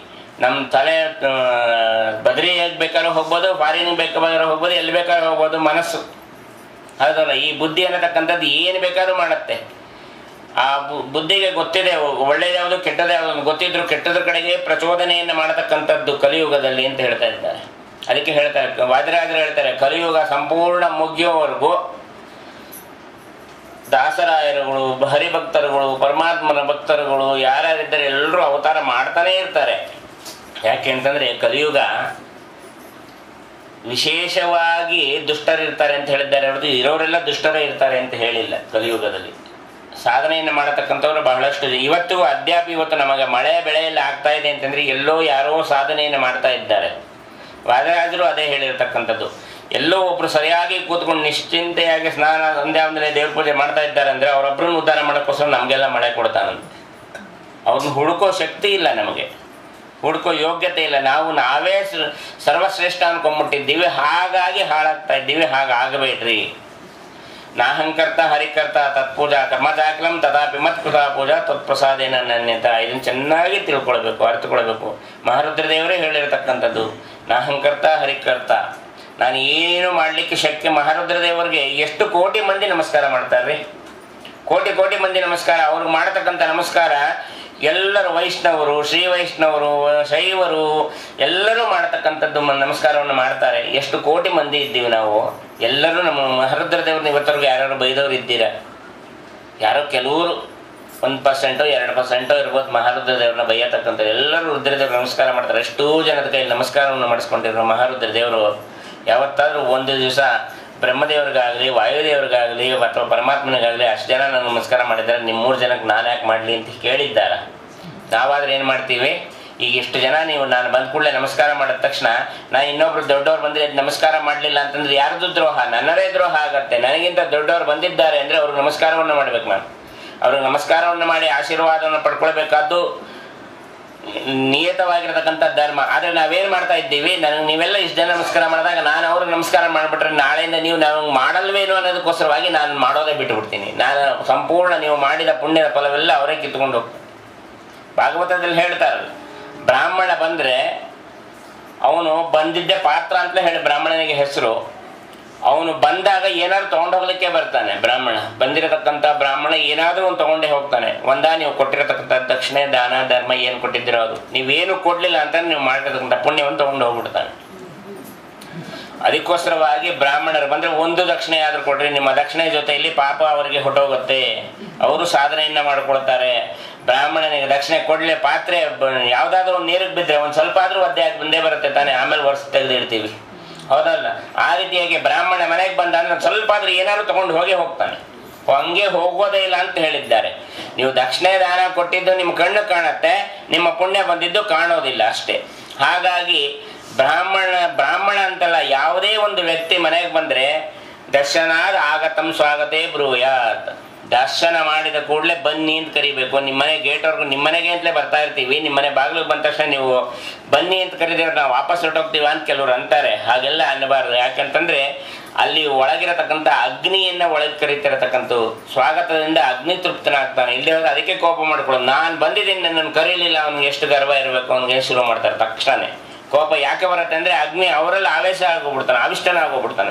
ಹಾಗಾಗಿ ಆಗತೇ ಸ್ವಾಗತಂ ಬ್ರೂಯಾತ್. ಆ ರೀತಿಯಲ್ಲಿ ಮಾಡಬೇಕು. ಅನಂತರದಲ್ಲಿ ಬಂದ ಮೇಲೆ ಏನು ಮಾಡಬೇಕು? ಆಗದೆ ಸ್ವಾಗತಂ ಬ್ರೂಯಾತ್. ಸ್ವಾಗತ ಆದ ಕೂಡದಲ್ಲಿ ಕೂಡಲೇ ಅವರಿಗೆ ಆಸನಂ ದದ್ಯಾತ್. ಆಸನವನ್ನು ಕೊಡಬೇಕು. ಆಸನದಿಂದ ಮಾ, ಇಂದ್ರದೇವರು ತೃಪ್ತರಾಗ್ತಾರೆ. ಆಸನವನ್ನು ಕೊಡಲಿಲ್ಲ ಅಂದರೆ ಇಂದ್ರದೇವರು ತೃಪ್ತ ಆಗಲಿಲ್ಲ ಅಂತಂದರೆ ನೀವು ಆಸನ ಕೊಡದೆ ನಿಂತು ಮಾತಾಡಿಸ್ತಾ ಇದ್ರಿ ಅವ್ರನ್ನ ಅಂತಂದರೆ ನಿಮ್ಮ ಮನೇಲಿ ಇರತಕ್ಕಂಥ ಏನು ನಿಮ್ಮ ಮಕ್ಕಳದು, ನಿಮ್ಮದು ಯಾವುದೋ ಒಳ್ಳೆ ಪೋಸ್ಟಲ್ಲಿ ಇರ್ತೀರಾ? ಡಿಗ್ರೇಡ್ ಆಗೋಗುತ್ತೆ. ಇಲ್ಲ, ಸಂಬಳ ಕಡಿಮೆ ಆಗತ್ತೆ, ಇಲ್ಲ ಬರತಕ್ಕಂಥ ಎಲ್ಲೋ ಅವಮಾನಗಳಾಗತಕ್ಕಂಥದ್ದು ಇವೆಲ್ಲ ಆಗುತ್ತೆ. ಅದಕ್ಕೋಸ್ಕರ ಯಾವುದೇ ಒಂದು ವ್ಯಕ್ತಿ ಬರಲಿ, ಅವರಿಗೆ ಆಸನಂ ದದ್ಯಾತ್. ಅದಾದ ನಂತರದಲ್ಲಿ ಪಾದ್ಯಂ. ಪಾದ್ಯವನ್ನು ಮಾಡೋದ್ರಿಂದ ಪಿತೃದೇವತೆಗಳು ತೃಪ್ತರಾಗ್ತಾರೆ. ಮೊದಲು ಬಂದು ಒಳಗೆ ಕೂಡಿಸಿ, ಆಮೇಲೆ ಪಾದ ಪ್ರಕ್ಷಾಲನೆಯನ್ನು ಮಾಡಿ ಅಂತ ಕೆಲವರು ಕೆಲವರು ಪದ, ಪಾದ ಪ್ರಕ್ಷಾಲನೆ ಮಾಡಿ ಕರ್ಕೊಂಬನಿ ಅಂತ ಯಾವ್ದು ಮಾಡಿದ್ರು ದೋಷ ಇಲ್ಲ ಇದರೊಳಗೆ ಪಿತೃದೇವತೆಗಳು ತೃಪ್ತರಾಗ್ತಾರೆ ಪಾದ ಪ್ರಕ್ಷಾಲನೆಯಿಂದ ಪಿತೃದೇವತೆಗಳು ತೃಪ್ತರಾಗೋದು ಅಂತಂದ್ರೆ ಏನು? ಯಾರೋ ನರಕದ ಅರ್ಬುದ ಅಂತ ಹೇಳಿ ಒಂದು ನರಕ ಇದೆ. ಅದು ಎಷ್ಟೋ ಲಕ್ಷ ವರ್ಷಕ್ಕೆ ಒಂದು ಸಲ ತೆಕ್ಕೊಳತ್ತೆ ಅದು. ಬಾಯಿ ಬಿಡತಕ್ಕಂಥದ್ದು ಕಮಲ ಅದು. ತೆಕ್ಕೊಳ್ಳೋದು ಯಾವ ಎಷ್ಟೋ ಲಕ್ಷಕ್ಕೆ ವರ್ಷಕ್ಕೆ ಒಂದು ಸಲ ತೆಕ್ಕೊಳತ್ತೆ ಗೊತ್ತಿಲ್ಲ. ಶ್ರೀಮದ್ ಆಚಾರ್ಯ ಹೇಳ್ದಂಗೆ ಇಲ್ಲಿಯ ಲೆಕ್ಕಕ್ಕೆ ಎಂಟುನೂರ ಅರವತ್ನಾಲ್ಕು ಕೋಟಿ ವರ್ಷಕ್ಕೆ ಒಂದು ಸಲ ತೆಕ್ಕೊಳ್ಳುತ್ತೆ ಅದು ಅಂತ ಹೇಳ್ತಾರೆ. ಅಷ್ಟು ಕೋಟಿ ವರ್ಷದವರೆಗೂ ನಾವು ಇರ್ತೀವೋ ಇಲ್ಲವೋ ಗೊತ್ತಿಲ್ಲ, ಅಥವಾ ಹಿಂದೆ ಯಾರಿದ್ದಾರೋ ಗೊತ್ತಿಲ್ಲ. ಅವರು ನರಕದಿಂದ ವಿಮೋಚನೆಯನ್ನು ಮಾಡಬೇಕಾದ್ರೆ ಎರಡು ಕೆಲಸವನ್ನು ಮಾಡಬೇಕು. ಒಂದು ಬ್ರಾಹ್ಮಣನಿಗೆ ಪಾದ ಪ್ರಕ್ಷಾಲನೆಯನ್ನು ಮಾಡಿ ಇಲ್ಲವ ಊಟಕ್ಕೆ ಕೂತಾಗ ಉಪ್ಪಿಗೆ ನೀರು ಹಾಕಿ, ಎಂಜಲು ನೀರು. ಆ ಪೋಷಣ ತಗೊಂಡು ನೀರು ಅಥವಾ ಕೈಯಲ್ಲಿ ಅನ್ನ ಎಲ್ಲ ಅಗಳು ಕೈ ತೊಳ್ಕೊಳಕ್ಕೆ ಮುಂಚೆ ಇರತಕ್ಕಂಥ ನೀರು ಅನ್ನದ ಮೇಲೆ ಹಾಕಿ. ಆ ಉಪ್ಪಿನ ಮೇಲೆ ಹಾಕಿ, ಅನ್ನದ ಸಮೇತವಾಗಿ ಆ ಉಪ್ಪಿನ ಮೇಲೆ ಹಾಕಿದಾಗ ಅಲ್ಲಿ ಹೇಳ್ತೀವಿ, ಪದ್ಮಾರ್ಬುದ ನಿವಾಸಿ ನಾಮ್ ಅಂತ ಹೇಳ್ತೀವಿ ಅಲ್ಲಿ. ಅರ್ಬುದ ನಿವಾಸಿ ಅನ್ನತಕ್ಕ, ಅರ್ಬುದ ಅನ್ನತಕ್ಕಂಥ ಪದ್ಮದೊಳಗೆ ವಾಸವಾಗಿರ್ತಕ್ಕಂಥವ್ರು. ಅವ್ರು ಯಾವತ್ತೂ ತಕ್ಕೊಳತ್ತೆ ಅಂತ ಗೊತ್ತಿಲ್ಲ. ಹಾಗಾಗಿ ಎಲ್ಲರೂ ಹಾಕ್ರಿ. ಎಲ್ಲರಿಗೂ ಅಧಿಕಾರ. ಆ ಬಲ್ಲ ಆ ಬಲ್ಲ ಬ್ರಹ್ಮಚಾರಿಯಾಗಿ ಮತ್ತು ಆ ವೃದ್ಧರಾಗಿ ಯಾರ್ಯಾರಿದ್ದೀರಿ ಎಲ್ಲರೂ ಹಾಕ್ಲೇಬೇಕು. ಯಾಕೆ ಹಾಕಬೇಕು ಅಂತಂದರೆ ಅವರಿಗೆ ಎಂಜಲ್ ನೀರೇ ಅಂತೆ, ತೃಪ್ತಿ ಆಗೋದು. ನಾವು ತಿಂದ ಎಂಜಲ್ ನೀರು, ಎಂಜಲು ಉಪ್ಪು, ಅದಕ್ಕೆ ಎಲೆ ಕೊನೆಗೆ ಉಪ್ಪು ಹಾಕೊಳ್ಳದೆ ಊಟವನ್ನು ಮಾಡಬೇಡ್ರಿ. ನೀವು ಎಲ್ಲಾದರೂ ಏನಾದರೂ ತಿಂದರೆ ಎಲೆ ಕೊನೆಗೆ ಉಪ್ಪು ಹಾಕ್ಕೊಳ್ರಿ, ನೆಲದ ಮೇಲೆ ಕೂತ್ಕೊಳ್ರಿ ಊಟಕ್ಕೆ ಅಂತ ಹೇಳಿರೋದು ಆ ನರಕದಲ್ಲಿರೋರನ್ನ ಬಿಡುಗಡೆಯನ್ನು ಮಾಡಬೇಕು. ಇಲ್ಲದೆ ನಮ್ಮನ್ನು ನರಕಕ್ಕೆ ಕರ್ಕೋತಾರೆ. ಇಷ್ಟು ವರ್ಷ ಭೂಮಂಡಲದಲ್ಲಿದ್ದೆ ಬ್ರಾಹ್ಮಣ ಜನ್ಮ ಕೊಟ್ಟೆ ನಿನಗೆ ನೀ ಏನು ಮಾಡಿದಿ? ಒಂದು ದಿವಸ ಉಪ್ಪಿಲ್ಲದೆ ಊಟ ಮಾಡಿದ್ರೆ ಸಾಕು, ನಮ್ಗೆ ಒಂದು ದಿವಸ ಅಂತೂ ಸಾಕ. ಇಲ್ಲಿ ಒಂದು ದಿವಸ, ಅಲ್ಲಿಗೆ ಎಷ್ಟು ದಿವಸ ಆಗುತ್ತೆ? ಇಪ್ಪತ್ನಾಲ್ಕು ಗಂಟೆ ಇಪ್ಪತ್ನಾಲ್ಕು ಸಾವಿರ ವರ್ಷ ಅಲ್ಲಿ ಇರಬೇಕಾಗತ್ತೆ. ಇಪ್ಪತ್ನಾಲ್ಕು ಸಾವಿರ ವರ್ಷ ನಾವು ಇರಬೇಕಾ? ಬೇಕಾಗಿಲ್ಲ. ಅದಕ್ಕೋಸ್ಕರವಾಗಿ ನೆಲದ ಮೇಲೆ ಕುತ್ಕೊಂಡು ಊಟವನ್ನು ಮಾಡ್ರಿ ಅಂತ ಹೇಳ್ತಾ ಇದ್ದಾರೆ. ಈ ರೀತಿಯಾಗಿ ಉಪ್ಪನ್ನು ಹಾಕ್ಕೊಂಡು ಅರ್ಬುದದ ನರಕದನ್ನ ಬಿಡಿಸ್ಬೇಕು. ಹಾಗೆ ಬಿಡಿಸ್ಲಿಲ್ಲ ಅಂತಂದರೆ ಶಿವಮಹಿಮೆಯನ್ನು ಕೇಳಿ ಕಳೆ ಪಕ್ಷ. ಮಹಾರುದ್ರ ದೇವರ ಮಹಿಮೆಯನ್ನು ಕೇಳಿ ಮಹಾರುದ್ರ ದೇವರು ಆ ನರಕದಲ್ಲಿರೋ, ಯಾಕೆಂದರೆ ಭೂತ ಪ್ರೇತ ಗಣಗಳಿಗೆಲ್ಲ ಅವರೇ ನಿಯಾಮಕರಾಗಿದ್ದಾರೆ. ಅವನ ದಕ್ಷ ಪ್ರಜಾಪತಿ ಬೈದ ಸ್ಮಶಾನವಾಸಿ ಅಂತ ಬೈದಿದ್ದ, ಇದು ಅದಕ್ಕೆ ಇಲ್ಲಿ ಗರ ಉತ್ತರವನ್ನು ಕೊಡ್ತಾ ಇದ್ದಾರೆ. ಸ್ಮಶಾನವಾಸಿ ಅಂತಂದ್ರೆ ನನ್ನ ಗಂಡ ದಾಕ್ಷಾಯಣಿ ಹೇಳ್ತಾಳೆ, ನನ್ನ ಗಂಡ ಸ್ಮಶಾನವಾಸಿ ಆಗಿರತಕ್ಕಂಥದ್ದು ಬಟ್ಟೆ ಹಾಕೊಳ್ಳೋಕೆ ದುಡ್ಡಿಲ್ಲ ಅಂತಲ್ಲ, ಅಥವಾ ಇಲ್ಲೆಲ್ಲೂ ಮನೆ ಕಟ್ಕೊಳ್ಳಿಕ್ಕೆ ಕಾಸಿಲ್ಲ ಅಂತಲ್ಲ, ಅವನಿಗೆ ಇಲ್ಲದೆ ಇರತಕ್ಕಂಥ ಸ್ಥಳ ಇಲ್ಲ ಅಂತಲ್ಲ, ಅವನು ಎಲ್ಲಿ ಏನು ಅವನು ಮನಸ್ಸು ಮಾಡಿದ್ರೆ ಏನು ಬೇಕಾದ್ರೂ ಕಟ್ಕೊಳ್ಬೋದು. ವೈರಾಗ್ಯದಿಂದ ಇರತಕ್ಕಂಥ ನಿನಗೆ ವೈರಾಗ್ಯಕ್ಕೂ ಬಡತನಕ್ಕೂ ವ್ಯತ್ಯಾಸ ಗೊತ್ತಿಲ್ಲ, ನೀನು ಯಾವ ಸೀಮೆ ಅಪ್ಪ ಅಂತ ಬೈತಾಳೆ ಅವಳು. ಅಪ್ಪ ಅಂತ ಒಪ್ಕೊಳ್ತೀನಿ ನಿನಗೆ. ಆದ್ರೆ ನೀನು ಯಾವ ಸೀಮೆ ಅಪ್ಪ ಆಗಿದೆಯಾ? ಮಕ್ಕಳಿಗೆ ಬುದ್ಧಿ ಹೇಳ್ಕೊಡ್ಬೇಕು ನೀನು. ನೀನೇ ದಪ್ಪದಾರಿ ಹಿಡಿದಿದೆಯಲ್ಲ. ಅವನು ವೈರಾಗ್ಯದಿಂದ ಇರತಕ್ಕಂಥದ್ದು, ವೈರಾಗ್ಯಕ್ಕೂ ಬಡತನಕ್ಕೂ ವ್ಯತ್ಯಾಸ ಗೊತ್ತಿಲ್ವಲ್ಲ ನಿನಗೆ ಅಂತ ಹೇಳ್ತಾಳೆ. ಆ ರೀತಿಯಾಗಿ ಮಹಾರುದ್ರ ದೇವರು ವೈರಾಗ್ಯವಾಗಿದ್ದಾರೆ. ಅಲ್ಲಿ ಭೂತ ಭೂತ ಪ್ರೇತಗಳ ಜೊತೆ ಯಾಕಿದ್ದಾರೆ? ಸ್ಮಶಾನದಲ್ಲಿ ಯಾಕೆ ವಾಸ ಇದ್ದಾರೆ ಅಂತಕ್ಕಂಥದ್ದು, ಸ್ಮಶಾನದಲ್ಲಿ ವಾಸ ಇರತಕ್ಕಂಥದ್ದು. ಬ್ರಹ್ಮದೇವರು ಸೃಷ್ಟಿಯನ್ನು ಮಾಡಿದಾಗ ಭೂತ ಪ್ರೇತಗಳೆಲ್ಲ ಗಣಗಳೆಲ್ಲ ಸೃಷ್ಟಿಯಾದವು. ಸೃಷ್ಟಿಯಾದಾಗ ಮಹಾರುದ್ರ ದೇವರನ್ನ ನಿಯಮನವನ್ನು ಮಾಡಿದ್ರು. ಯಾಕೆಂತಂದ್ರೆ ಅದು ಏನು ಮಾಡ್ತು ಅಂದ್ರೆ ಸೃಷ್ಟಿ ಆದ ಕೂಡಲೇ ಎಲ್ಲರ ಮನೆಗೆ ಹೋಗಿ ಎಲ್ಲರನ್ನು ಕಾಡ್ಲಿಕ್ಕೆ ಶುರು ಮಾಡ್ತಾರೆ. ಅದು ಬೇಕು, ಇದು ಬೇಕು, ಹಾಗೆ ಹೀಗೆ ಅಂತ. ಯಾರೂ ಅರ್ಥ ಆಗ್ತಾ ಇಲ್ಲ. ಸಣ್ಣ ಸಣ್ಣ ಮಕ್ಕಳ ಮೈ ಮೇಲೆ ಹೋಗೋದು ಕಾಡೋದು. ಮಕ್ಕಳಿಗೆ ಏನೋ ಆಗಿದೆ ಮಕ್ಕಳಿಗೆ ಏನೋ ಆಗಿದೆ ಅಂತ ಇವ್ರು ಅನ್ಕೊಳ್ಳೋದು ಈ ರೀತಿಯಲ್ಲಿ ಆಗ್ತಾ ಇದ್ದ. ಅದಕ್ಕೆ ಮಹಾರುದ್ರ ದೇವನ ನಿಯಮವನ್ನು ಮಾಡಿದ್ರು. ಇಡೀ ದೇಶದಲ್ಲಿ ಇರತಕ್ಕಂಥ ಇಡೀ ಪ್ರಪಂಚದಲ್ಲಿ ಇರತಕ್ಕಂಥ ಭೂತ ಪ್ರೇತಗಳನ್ನೆಲ್ಲ ತಗೊಂಡು ಬಂದು ರುದ್ರಭೂಮಿಯಲ್ಲಿ ಇಟ್ಕೊಂಡು ಅವ್ರನ್ನ ಹೊರಗೆ ಹೋಗದೆ ರಂಗ ರಕ್ಷಣೆಯನ್ನು ಮಾಡು. ಅದಕ್ಕೆ ವಿಷ್ಣು ತೀರ್ಥರು ಹೇಳ್ತಾರೆ, ಭಾಗವತ ಸಾರ್ವೋದ್ಧಾರದಲ್ಲಿ ಹೇಳ್ತಾರೆ. ಅದನ್ನೇ ನಾವು ಮಾಡಿದ್ರು ಮಹಾರುದ್ರ ದೇವರು, ಆದರೆ ಇವತ್ತು ಮನುಷ್ಯರೇ ಭೂತ ಪ್ರೇತಗಳಾಗಿರ್ತಾರಲ್ಲ ಏನು ಮಾಡೋದು? ಮನುಷ್ಯರೇ ಭೂತ ಪ್ರೇತಗಳ ಥರ ಆಡ್ತಾ ಇದ್ದಾರೆ. ಯಾಕೆ ಸ್ನಾನ, ಸಂಧ್ಯಾ ವಂದನೆ, ದೇವರ ಪೂಜೆ ಏನು ಮಾಡೋದಿಲ್ಲ. ವೈಶ್ಯದೇವ ಇಲ್ಲ, ಅನೇಕ ಇಲ್ಲ, ಏನೂ ಇಲ್ಲದೆ ಭೋಜನವನ್ನು ಮಾಡ್ತಾ ಇದ್ದಾರೆ. ವಿಧ ಪ್ರೇತ ಪ್ರೇತ ಉಣ್ಣತಕ್ಕಂತಹ ಆಹಾರ ಅಂತ ಹೇಳ್ತಾರೆ ಇದನ್ನ. ಪ್ರೇತಕ್ಕೂ ನೈವೇದ್ಯವನ್ನು ಮಾಡಿ ಹಾಕಬೇಕು ಅಂತ ಹೇಳ್ತಾರೆ. ಇವತ್ತು ನೀವು ಎಲ್ಲಾದರೂ ಹೋಗಿ ನದಿ ತೀರದಲ್ಲಿ, ಗೋಕರ್ಣದಲ್ಲಿ ಅಥವಾ ಕಾವೇರಿಯಲ್ಲಿ ಹೋಗಿ ನಿಮಗೆ ಪಿತೃಶ್ರಾದ್ದವನ್ನು ಮಾಡಬೇಕು, ಪ್ರೇತ ಬಲಿ ಹಾಕಬೇಕು ಅಂತ ಹೇಳ್ತಾರೆ. ಪ್ರೇತ ಬಲಿ ಹಾಕ್ಬೇಕಾದ್ರೆ ಅಲ್ಲಿ ಅಡುಗೆಯನ್ನು ಮಾಡಿ, ನೈವೇದ್ಯವನ್ನು ಮಾಡಿಸಿ ಆಮೇಲೆ ಹಾಕೋದು ಪ್ರೇತಕ್ಕೂ. ಅಂತಂದ್ರೆ ಪ್ರೇತಕ್ಕೆ ಹಾಕಬೇಕು? ನಾವಿಂದ ಅದಕ್ಕಿಂತ ಕೀಳಾಗೋದಲ್ಲ ನೈವೇದ್ಯ ಇಲ್ಲದೆ ಊಟವನ್ನು ಮಾಡತಕ್ಕಂಥವ್ರು ವೈಶ್ಯದೇವ ಇಲ್ಲದೆ ಊಟವನ್ನು ಮಾಡತಕ್ಕಂಥವ್ರು, ನಮ್ಮ ಪರಿಸ್ಥಿತಿಯನ್ನು ನೋಡ್ರಿ, ಯಾವ ಸ್ಥಿತಿಯಲ್ಲಿದ್ದೀವಿ ನಾವು ಅಂತ. ಅದಕ್ಕೆ ಮಹಾರುದ್ರ ದೇವರನ್ನ, ನಿಯಮನವನ್ನು ಮಾಡಿರ್ತಕ್ಕಂಥ ಮಹಾರುದ್ರ ದೇವರು ಹೇಳ್ತಾ ಇದ್ದಾರೆ. ಆ ರೀತಿಯಲ್ಲೆಲ್ಲ ಚಿಂತನೆಯನ್ನು ಮಾಡಬೇಡ್ರಿ. ನೀವು ಎಲ್ಲಿ ನನ್ನ ಸ್ಮರಣೆ ಮಾಡ್ತೀರಿ, ನಾನು ಬರ್ತೀನಿ. ಅದಕ್ಕೆ ಅದನ್ನು ಸಂದೇವನೆಯಲ್ಲಿ ಮಂತ್ರ ಕೊಟ್ಬಿಟ್ರು. ಅಪಸರ್ಪಂತ ಏ ಭೂತ ಏ ಭೂತ, ಭೂಸಂತ, ಏ ಭೂತ ವಿಘ್ನಕರ್ತಾರಹ ತೇನ ಶಂತು ಶಿವಾಜ್ಞೆಯ ನೀವು ಶಿವ ರುದ್ರದೇವರ ಸ್ಮರಣೆಯನ್ನು ಮಾಡ್ರಿ. ನಿಮ್ಮ ಮನೆಯಲ್ಲಿರ್ತಕ್ಕಂಥ ಭೂತ ಪ್ರೇತಗಳನ್ನೆಲ್ಲ ನಿವಾರಣೆಯನ್ನು ಮಾಡಿಬಿಡ್ತೀವಿ. ಪಾರ್ವತಿ ದೇವಿ ಕೇಳ್ತಾ ಇದ್ದಾಳೆ, ರುದ್ರದೇವ ಸ್ಮರಣೆಯನ್ನು ಹೆಣ್ಮಕ್ಳು ಹೆಂಗೆ ಮಾಡೋದು ಹಂಗಾದ್ರೆ? ಗಂಡು ಮಕ್ಕಳೆಲ್ಲ ನೀವು ಮಾಡ್ಕೊಳ್ತೀರಿ, ಮಂತ್ರ ಗೊತ್ತು, ತಂತ್ರ ಗೊತ್ತು, ವೇದ ಮಂತ್ರಗಳು ಎಲ್ಲ ನೀವು ಹೇಳ್ಬೋದು, ನಿಮ್ಗೆ ಅಧಿಕಾರ ಇದೆ, ನಾವೇನು ಮಾಡಬೇಕು? ಅದಕ್ಕೆ ಪಾರ್ವತಿ ದೇವಿಗೆ ಕೇಳಿದ್ದಕ್ಕೆ ಉತ್ತರವನ್ನು ಕೊಡ್ತಾ ಇದ್ದಾರೆ ವಾಯುದೇವರು, ಏನು ಬೇಡಮ್ಮ, ದೇವರ ಮನೆಯಲ್ಲಿರುತ್ತೆ, ದೇವ್ರಿಗೊಂದು ಆರತಿ ಮಾಡು, ಕಲ್ಲಾರತಿಯನ್ನು ಮಾಡು. ಒಂದು ಸುಣ್ಣ ಅಷ್ಟನ್ನ ಬೆರೆಸ್ಬಿಟ್ಟು ನೀರು ಹಾಕಿ ಆರತಿಯನ್ನು ಮಾಡು, ಮನೇಲಿ ಯಾರು ಹಾರಾಡ್ತಾ ಇದ್ರೆ ತಣ್ಣಗಾಗ್ತಾರೆ ಅಂತ ಹೇಳ್ತಾರೆ. ನಾವು ಅದನ್ನು ಇವತ್ತರೆಗೂ ಗೊತ್ತೇ ಇಲ್ಲ ನಮ್ಗೆ ವಿಷಯನ ಆರತಿ ಯಾಕೆ ಮಾಡ್ತಾರೆ ಅಂತಲೇ ಗೊತ್ತಿಲ್ಲ. ಯಾಕೆ ಅಂತಂದ್ರೆ ನಾವೇನು ಅನ್ಕೊಂಡಿದ್ದೀವಿ, ದೃಷ್ಟಿ ಆಗಿರುತ್ತೆ ಅದಕ್ಕೆ ಅನ್ಕೊಳ್ತೀವಿ, ಅದಕ್ಕಲ್ಲ. ಭೂತ ಪ್ರೇತಗಳನ್ನ ಮನೆಯಿಂದ ಹೊರಗೋಡಿಸ್ಬೇಕು. ಮನೆಯಲ್ಲಿ ಶುಭ ಕಾರ್ಯ ಆದ್ರೆ ಮೊದಲು ಅವೇ ಬಂದು ಕೂತ್ಕೋತಾವಂತೆ. ಅದಕ್ಕೆ ಎಲ್ಲ ಪೂಜೆ ಆಗೋವರೆಗೂ ಪುಣ್ಯ ಮಾಡಿರ್ತೀವಿ, ಎಲ್ಲ ಮಾಡಿದ್ರು ಸಹ ಊಟಕ್ಕೆ ಮುಂಚೆ ಆರತಿಯನ್ನು ದೇವರು ಮಾಡಿಬಿಟ್ಟು ಊಟ ಕೂತ್ಕೊಳ್ಳಿ ಅನ್ನೋದು ಯಾಕೆಂದ್ರೆ ಭೂತ ಪ್ರೇತಗಳು ಬಂದು ಕೂತ್ಕೊಂಡ್ಬಿಡ್ತವೆ ತಿಂದುಬಿಡ್ತವೆ ಎಲೆಗೆ ಹಾಕಿದ್ದು. ಅದಕ್ಕೋಸ್ಕರವಾಗಿ ಆರತಿಯನ್ನು ಮಾಡಿಬಿಟ್ಟು ಭೂತ ಪ್ರೇತಗಳನ್ನ ಹೆಣ್ಣುಮಕ್ಕಳೆಲ್ಲ ಓಡಿಸ್ರಿ. ಕೆಲವರು ಗಂಡ ಮಕ್ಕಳು ಓಡಿಸ್ಬೇಕು, ಕೆಲವ್ರನ್ನ ಹೆಣ್ಣು ಮಕ್ಕಳು ಓಡಿಸ್ಬೇಕು. ಹೆಣ್ಣು ಮಕ್ಕಳಿಗೂ ಅಧಿಕಾರವನ್ನು ಕೊಟ್ಟಿದ್ದೀನಿ. ಕಪಿಲ ಗೀತೆಯಲ್ಲಿ ಹೇಳ್ತಾರಲ್ಲ ದೇವಹೂತಿಗೆ. ಯಾತಕ್ಕೆ? ಹೆಣ್ಣು ಮಕ್ಕಳು ಬರೀ ಅಡುಗೆಗೆ ಸೀಮಿತ ಅಲ್ಲ, ತತ್ವಜ್ಞಾನಕ್ಕೂ ಇದ್ದಾರೆ ಅವರು. ತತ್ವಜ್ಞಾನವನ್ನು ಪಡೆಯಬೇಕು, ಅವರು ಪ್ರಸಾರವನ್ನು ಮಾಡಬೇಕು ಅನ್ನೋಕ್ಕೋಸ್ಕರವೇ ದೇವಭೂತಿ ಕೇಳಿದ್ದಿದ್ದು, ತತ್ವೋಪದೇಶವನ್ನು. ಕಪಿಲ ನಾಮಕ ಪರಮಾತ್ಮ ಬಂದು ತತ್ವೋಪದೇಶವನ್ನು ಮಾಡಿದ್ದಾನೆ. ಆ ತತ್ವೋಪದೇಶವನ್ನ ಮಾಡಿರ್ತಕ್ಕಂಥ ಪರಮಾತ್ಮ ಹೇಳ್ತಾನೆ, ಹೆಣ್ಮಕ್ಳಿಗೂ ಅಧಿಕಾರ ಇದೆ, ಹೆಣ್ಮಕ್ಳು ಸಂಪೂರ್ಣವಾಗಿ ಪ್ರಸಾರವನ್ನು ಮಾಡಬೇಕು ಅಂತ ಹೇಳಿದ್ದಾನೆ. ಹಾಗಾಗಿ ಇವತ್ತು ನಾವೇನು ಹರಿಕೀರ್ತನೆ ಎಲ್ಲ ಏನು ಮಾಡ್ತಾ ಇದ್ದೀವಿ? ಇವೆಲ್ಲವೂ ನೀವೆಲ್ಲ ಮಾಡ್ತಿರತಕ್ಕಂಥ ಹೆಣ್ಣುಮಕ್ಳು ಮಾಡ್ತಿರತಕ್ಕಂಥದ್ದು ಯಾರ ಇದರಿಂದ ಅಂತಂದ್ರೆ ದೇವಹೂತಿನೇ ಕಾರಣ. ಇಷ್ಟಕ್ಕೂ ಕಾರಣ, ನೀವು ದೇವರ ನಾಮವನ್ನು ಪ್ರಾರಂಭ ಮಾಡಿದ್ರೆ ನಿಮ್ಮಲ್ಲಿ ದೇವಹೂತಿ ಆವಿಷ್ಟಳಾಗ್ತಾಳಂತೆ ಬಂದು. ಹಾಗೆ ಪಿತೃಕಾರ್ಯವನ್ನು ಮಾಡಬೇಕಾದ್ರೆ ಅಲ್ಲಿ ಗಂಧರ್ವ ಒಂದು ಚಿತ್ರರಥ ಅನ್ನತಕ್ಕಂಥ ಗಂಧರ್ವ ಬಂದು ಯಾರು ಮನೆಯಲ್ಲಿ ಮೃತರಾದರೆ ಪಿತೃಕಾರ್ಯವನ್ನು ಮೃತರಾದಾಗ ಹತ್ತು ದಿವಸದಲ್ಲಿ ಏನು ಕಾರ್ಯವನ್ನು ಮಾಡ್ತಾರೆ? ಆ ಕಾಲದಲ್ಲಿ ಚಿತ್ರರಥ ಅನ್ನತಕ್ಕಂಥ ಗಂಧರ್ವ ಬಂದು ಕರ್ತೃವನಲ್ಲಿ ಸೇರ್ಕೊಂಡ್ಬಿಡ್ತಾನೆ. ಅದಕ್ಕೆ ಕರ್ತೃ ಒಬ್ರನ್ನೊಬ್ರನ್ನ ಮುಟ್ಟಬೇಡಿ ಹೆಣ್ಣಸನ್ನ ಮುಟ್ಟಬೇಡ್ರಿ ಅಂತೆಲ್ಲ ಹೇಳ್ತಾರೆ. ಯಾಕೆಂತಂದ್ರೆ ಐದಾರು ಜನ ಗಂಡು ಮಕ್ಕಳಿದ್ದಾಗ ಯಾರಲ್ಲಿ ಹೆಚ್ಚು ವಿಶ್ವಾಸ, ಭಕ್ತಿ ಇರುತ್ತೆ ಅನ್ನತಕ್ಕಂಥದ್ದನ್ನ ನೋಡಿಕೊಂಡು ಅವರಲ್ಲಿ ಮಾತ್ರ ಬಂದು ಚಿತ್ರದ ಆವಿಷ್ಟನಾಗಿರ್ತಾನೆ ಉಳಿದವರೆಲ್ಲ ಆಗಿರಲ್ಲ, ನಾಲ್ಕೈದು ಜನ ಇದ್ದಾಗ. ಆ ನಾಲ್ಕೈದು ಜನದಲ್ಲಿ ಯಾರೆಲ್ಲ ಆಗಿದ್ದಾನೆ ಗೊತ್ತಿಲ್ಲ. ಹಾಗಾಗಿ ಅವ್ನು ಯಾರನ್ನು ಮುಟ್ಕೊಳ್ಳೇಬೇಡ್ರಿ ಅಂತ ಹೇಳ್ಬಿಡ್ತಾರೆ. ಅವನ್ನ ಮುಟ್ಕೊಂಡ್ರೆ ಮೈಲಿಗೆ. ಉಳಿದವರು ಯಾರಲ್ಲಿ ಆವಿಷ್ಟ ಆಗಿಲ್ಲ ಅವ್ರು ಮುಟ್ಕೊಂಡ್ರೆ ಅವನಿಗೆ ಮೈಲಿಗೆ ಆಗೋಗುತ್ತೆ. ಚಿತ್ರರಥ ಹೊಟ್ಟೋಗ್ತಾನೆ ಆಗ ಪಿತೃಕಾರ್ಯ ಪೂರ್ತಿ ಆಗೋದಿಲ್ಲ. ಆ ಪಿತೃ ಚಿತ್ರರಥ ಅನ್ನತಕ್ಕಂಥವನು ನಾರಾಯಣ ವರ್ಮ ಪಾರಾಯಣ ಮಾಡಿರ್ತಕ್ಕಂಥ ಒಬ್ಬ ವ್ಯಕ್ತಿಯ ಅಜ್ಞಾತನಾಗಿರತಕ್ಕಂಥ ವ್ಯಕ್ತಿ, ಅವನು ಯಾರು ಅಂತ ಗೊತ್ತಿಲ್ಲ, ಏನೂ ಗೊತ್ತಿಲ್ಲ. ನಾರಾಯಣ ವರ್ಮವನ್ನ, ಪಾರಾಯಣವನ್ನು ಮಾಡಿ ಮಾಡಿ ಮಾಡಿ ಕೊನೆಯಲ್ಲಿ ಅವನು ಮೃತನಾಗೋದ, ಮರುಭೂಮಿಯಲ್ಲಿ ಹೋಗಿ. ಮೃತನಾದಾಗ ಅವನಿಗೆ ಅಸ್ಥಿ ವಿಸರ್ಜನೆ ಮಾಡ್ಲಿಕ್ಕಲ್ಲ, ಅವನು ಸತ್ತಿದ್ದಾನೋ ಬದುಕಿದ್ದಾನೋ ಕೇಳಲಿಕ್ಕೂ ಬಂಧುಗಳಿಲ್ಲ.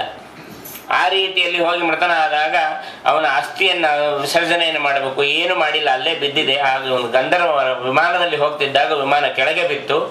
ಬಿದ್ದ ಮೇಲೆ ಅಲ್ಲಿದ್ದಂಥ ಋಷಿಮನೆಗಳೆಲ್ಲ ಕರೆಸಿ ಕೇಳದ ಯಾರ್ದಿದು ಅಂತ ನಾರಾಯಣ ವರ್ಮವನ್ನ ಪಾರಾಯಣವನ್ನು ಮಾಡಿ ಅವನು ಸದ್ಗತಿಯನ್ನು ಹೊಂದಿದ್ದಾನೆ, ನೀನು ಪ್ರಾಯಶ್ಚಿತ, ಆ ಮೂಳೆಯನ್ನು ದಾಟಿದ್ದಕ್ಕೆ ಪ್ರಾಯಶ್ಚಿತ್ತವನ್ನು ಮಾಡಿಕೊಂಡು ನೀನು ಅದನ್ನು ಸಂಪೂರ್ಣವಾಗಿ ಮುಗಿಸು, ನಿನಗೂ ಒಳ್ಳೇದಾಗತ್ತೆ ಅವಾಗ ಅವ್ನು ಕೇಳ್ಕೊಂಡು, ನಾನು ಮಾಡ್ತೀನಿ, ಇನ್ಮೇಲೆ ಯಾರ್ಯಾರು ಕರ್ತವ್ಯ ಇರ್ತಾರೋ ಅವರೆಲ್ಲ ನನಗೆ ಹೋಗೋಕೆ ಅವಕಾಶ ಕೊಡಿ, ನಾನು ಅವರಲ್ಲಿ ಕೂತ್ಕೊಂಡು ನಾನು ಪುಣ್ಯ ಸಂಪಾದನೆ ಮಾಡಬೇಕು ಅಂತ ಹೇಳಿದ್ದಾನೆ. ಹಾಗಾಗಿ ಹಾಗೆ ಆಗಲಿ ಅಂತೇಳಿ ಸಾಮಾನ್ಯದವ್ರು ಕೊಟ್ಟಿದ್ದಲ್ಲ, ವಸಿಷ್ಠರು ವಿಶ್ವಾಮಿತ್ರರು, ಕಶ್ಯಪ ಋಷಿಗಳು, ಇವರೆಲ್ಲ ಕೊಟ್ಟಿರತಕ್ಕಂಥದ್ದು. ಆಶೀರ್ವಾದ ಮಾಡಿರ್ತಕ್ಕಂಥ ಅನುಗ್ರಹವನ್ನು ಮಾಡಿರೋ ಅವ್ರುಗಳು ಹೇಳಿದ್ದು ಯಾವತ್ತೂ ಸುಳ್ಳಾಗೋದಿಲ್ಲ. ಹಾಗಾಗಿ ಇವತ್ತು ನಾವು ಯಾರೋ ಬ್ರಾಹ್ಮಣರನ್ನ ಯಾರು ಅಂತಲೇ ಗೊತ್ತಿರೋದಿಲ್ಲ ಮನೇಲಿ ಕರೆಸ್ತೀವಿ, ಒಂದು ಶ್ರಾದ್ದಕ್ಕೆ ಕರೆಸ್ತೀವಿ, ಅವ್ನು ಶ್ರಾದ್ದವನ್ನು ಮಾಡಿಸ್ತಾನೆ. ಶ್ರಾದ್ದವನ್ನು ಮಾಡಿಸ್ಬೇಕಾದ್ರೆ ಶ್ರಾದ್ದ ಶುರು ಮಾಡೋರು, ಅವ್ನಿಗೆ ಯಾರ್ದು ಶ್ರಾದ್ದ ಅಂತಲೇ ಗೊತ್ತಿರೋದಿಲ್ಲ.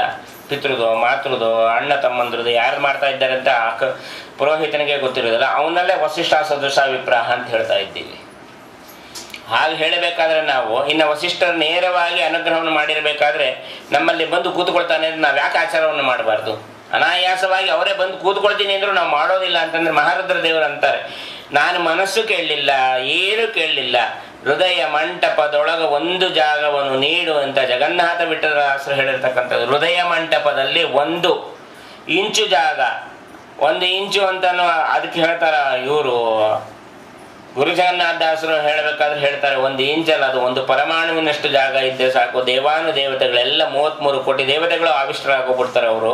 ಅವರಲ್ಲಿ ಅಷ್ಟು ಒಗ್ಗಟ್ಟಿದೆ ನಮ್ಮ ಥರ ಅಲ್ಲ, ಜಾಗ ಇಲ್ಲ, ಆ ಕಡೆ ಹೋಗ್ರಿ ಅಂತ ಹೇಳೋದಿಲ್ಲ ಅವರು ಅಂತ ಹೇಳ್ತಾರೆ.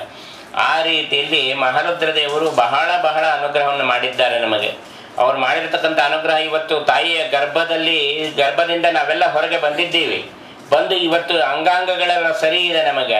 ಇಷ್ಟೆಲ್ಲ ಸರಿ ಇದೆ, ನಾವು ವಿಷ್ಣು ಸ್ಮರಣೆಯಿಂದ ಮಾಡ್ತಾ ಇದ್ದೀವಿ. ಇವತ್ತು ಕೂತ್ಕೊಂಡು ನೀವೆಲ್ಲ ಕೇಳ್ತಿದ್ದೀರಿ. ಭಗವಂತನ ಅನುಗ್ರಹದಿಂದಲೋ, ಗುರುಗಳ ಅನುಗ್ರಹದಿಂದಲೋ ನಾನು ಹೇಳ್ತಾ ಇದ್ದೀನಿ. ಇಷ್ಟೆಲ್ಲ ಹೇಳ್ತಾ ಇದ್ದೀವಿ ಅಂತಂದ್ರೆ ಮಹಾರುದ್ರ ದೇವರ ಅನುಗ್ರಹದಿಂದ ಗರ್ಭದಿಂದ ಹೊರಗೆ ಬರ್ಲಿಕ್ಕಾಗ್ತಿಲ್ಲ ಪಾರ್ವತಿ ದೇವಿಯ ಅನುಗ್ರಹದಿಂದ ಅವರ ಗರ್ಭದೊಳಗೆ ಇಟ್ಕೊಳ್ತಾನೆ ಇರಲಿಲ್ಲ ಅವಳು. ಪಾರ್ವತಿ ದೇವಿ ಅನುಗ್ರಹ ಇಲ್ಲದೆ ರುದ್ರದೇವರ ಅನುಗ್ರಹ ಇಲ್ಲದೆ ಪಾರ್ವತಿ ದೇವಿ ಏನೂ ಮಾಡೋದಿಲ್ಲ. ನಮ್ಮ ಥರ ಅಲ್ಲ, ನೀನು ಬರ್ದೇ ಇರಬೇಡ, ನಾನು ಹೋಗ್ತೀನಿ ಅಂತ ಹೇಳಿ ಗಂಡ ಹೆಂಡತಿ ಒಬ್ರಿಗೊಬ್ರು ಕೋಪ ಮಾಡ್ಕೊಂಡು ನೀನು ಒಂದು ಕಡೆ ಹೋಗು, ನಾವು ಒಂದು ಕಡೆ ಹೋಗು ಅಂತ ಅವ್ರು ಯಾವತ್ತೂ ಹೋಗಿದ್ದಲ್ಲ. ಹಾಗಾಗಿ ಅವರ ಅನುಗ್ರಹ ವಿಶೇಷವಾಗಿ ನಮಗೆ ಬೇಕು. ಅವರ ಅನುಗ್ರಹ ನಮಗೆ ಆದರೆ ಸಮಸ್ತ ಸಂಪತ್ ಸಮಾಪ್ತಿ ಅಥವಾ ಸುಮತಿತ ಆಪತ್ ಕುಲಧೂಮಕೇತವ ಆಪತ್ತು ಅನ್ನತಕ್ಕಂಥದ್ದು ಯಾವ ರೀತಿ ಬರುತ್ತೆ ಗೊತ್ತಿಲ್ಲ. ಕುಲಧೂಮಕೇತುಗಳು ಅಂತ ಹೇಳ್ತಾ ಇದ್ದಾರೆ. ಕಣ್ಣಿಗೆ ಕಾಣುವಂಥ ಆಪತ್ತು ಬೇರೆ, ಕಣ್ಣಿಗೆ ಕಾಣದೇ ಇರತಕ್ಕಂಥ ಆಪತ್ತು ಬೇರೆ. ಪರಮಾತ್ಮ ಹೇಳಿದ್ದಾನೆ, ಯಾರ ಬಾಯಲ್ಲಿ ಆಹಾರ ಇರುತ್ತೆ ಅವ್ರನ್ನ ಕರ್ಕೊಂಡು ಹೋಗೋದಿಲ್ಲ ಯಮದೂತರಿಗೆ ಆಜ್ಞೆ ಆಗಿದೆ ಇರ್ತಕ್ಕಂಥದ್ದು ಯಾರ ಬಾಯಲ್ಲಿ ಆಹಾರ ಇರುತ್ತೆ ಮರಣ ಅನ್ನತಕ್ಕಂಥದ್ದು ಬರೋದಿಲ್ಲ. ಅದಕ್ಕೆ ನಮಗೇನು ಮಾಡಿಬಿಟ್ಟಿದ್ದಾನೆ, ದೇವರು ಆಹಾರ ಇಟ್ಟ ತಕ್ಷಣ ನುಂಗೋದೇ ಕೊಟ್ಬಿಟ್ಟಿದ್ದಾನೆ ಬುದ್ಧಿ. ಇಟ್ಕೊಂಡ ತಕ್ಷಣ ನುಂಗ್ಬಿಡ್ತೀವಿ, ಇಟ್ಕೊಳ್ಳೋದೇ ಇಲ್ಲ ನಾವು. ಆಹಾರ ಇರೋವರೆಗೂ ಹೇಗೆ ನಮಗೆ ಮರಣ ಅನ್ನತಕ್ಕಂಥದ್ದು ಬರೋದಿಲ್ಲ, ಆ ರೀತಿಯಲ್ಲಿ ನಾವು ಆಹಾರವನ್ನು ಇಟ್ಕೋಬೇಕು. ಯಾವ ಆಹಾರವನ್ನು ಇಟ್ಕೊಳ್ಬೇಕು? ಮಹಾರುದ್ರ ದೇವರು ಮುಖ್ಯ ಪ್ರಾಣ ದೇವರು ಈ ಆಹಾರವನ್ನು ಇಟ್ಕೊಳ್ರಿ. ಈ ಆಹಾರ ಇದ್ದರೆ ನಮ್ಮನ್ನು ಏನು ಮಾಡೋದಿಲ್ಲ. ಭಗವದ್ಗೀತೆಗಳ, ಗೀತನೆಗಳನ್ನು ಮಾಡ್ತಾ ಇರಬೇಕು. ಸದಾ ಕಾಲದಲ್ಲಿ ಹೇಳ್ತಾನೇ ಇರಬೇಕು. ಸಂತತಂ ಚಿಂತೆ ಏನಂತ ಅಂತಕಾಲೇ ವಿಶೇಷತಃ. ಹೇಳಿ ಹೇಳಿ ಹೇಳಿ ಅಭ್ಯಾಸ ಆಗೋಗ್ಬಿಟ್ಟಿದ್ರೆ ನಿಮ್ಗೆ ಏನೇ ಅರಳು ಮರಳು ಬಂದರೂ ಸಹ ನಿಮಗೆ ಏನೂ ಆಗೋದಿಲ್ಲ. ಅದು ಸ್ಮರಣೆ ಬರ್ತಾ ಇರುತ್ತೆ. ಯಲಹಂಕ ಉಪನಗರದಲ್ಲಿ ಒಬ್ಬರು ಇದ್ದರು ತೊಂಬತ್ತೆಂಟು ವರ್ಷ ಅವರಿಗೆ. ಅವರಿಗೆ ನೀವು ಏನು ಮಗನ ಗುರುತು ಸಿಗ್ತಿರ್ಲಿಲ್ಲ ಯಾರ್ದು ಗುರುತು ಸಿಗ್ತಿರ್ಲಿಲ್ಲ ಒಬ್ಬ ಹೋದ್ರೆ ಆಚಾರ ಬಂದರು ಅಂತ ಹೇಳೋರು. ಅದು ಬಿಟ್ಟರೆ ಕೂಡ್ಲಿ ಮಠ ಸ್ವಾಮಿಗಳು ರಘುಪ್ರಿಯ ತೀರ್ಥರು ಅವ್ರೊಬ್ಬರನ್ನು ಗುರುತು ಹಿಡಿಯೋರು. ಅವ್ರು ಬಿಟ್ಟರೆ ಯಾರ್ದು ಗುರುತು ಸಿಗ್ತಿರ್ಲಿಲ್ಲ ಅವ್ರ ಹತ್ರ ನಾವೇನಾದ್ರು ಮಾತಾಡ್ಬೇಕಾದ್ರೆ ಸಂಸ್ಕೃತ ಶ್ಲೋಕ, ಯಾವುದೇ ಗ್ರಂಥದ್ದು ಒಂದು ಶ್ಲೋಕ ಹೇಳಿದ್ರು ಸಂಪೂರ್ಣ ಹೇಳ್ಬಿಡೋರು, ಸಂಪೂರ್ಣ ಮುಗಿಸೋರು ಅವರು. ಆದರೆ ಹೆಂಡ್ತಿನೇ ಗುರುತು ಸಿಗ್ತಿರ್ಲಿಲ್ಲ ಹೆಂಡ್ತಿನ ಅಜ್ಜಿ ಅಂತ ಕರಿತಿದ್ರು. ಅವರು ಅಷ್ಟು ವಯಸ್ಸಾಗಿತ್ತು ಅವ್ರಿಗೆ ಯಾರಿಗೂ ಗುರು ಸಿಗ್ತಿರ್ಲಿಲ್ಲ.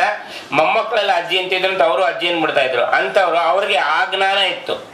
ಕೊನೆಯಲ್ಲಿ ಅವರು ಅವಸಾನ ಕಾಲದಲ್ಲಿ ಕೂಡ್ಲಿ ಮಠದ ಸ್ವಾಮಿಗಳನ್ನು ಕರೆಸಿ ಸಂಪೂರ್ಣವಾಗಿ ತೊಟ್ಲು ಸೇವೆ ಎಲ್ಲ ಮಾಡಿಸಿ ಸ್ವಾಮಿಗಳ ಕೈಲಿ ಮಂತ್ರಾಕ್ಷ ಇಸ್ಕೊಂಡು ನಾನು ಇನ್ನು ಹೋಗ್ಬೋದಾ? ಆಜ್ಞೆ- ಕೊಡ್ತೀರಾ ಅಂತ ಕೇಳಿದ್ರು.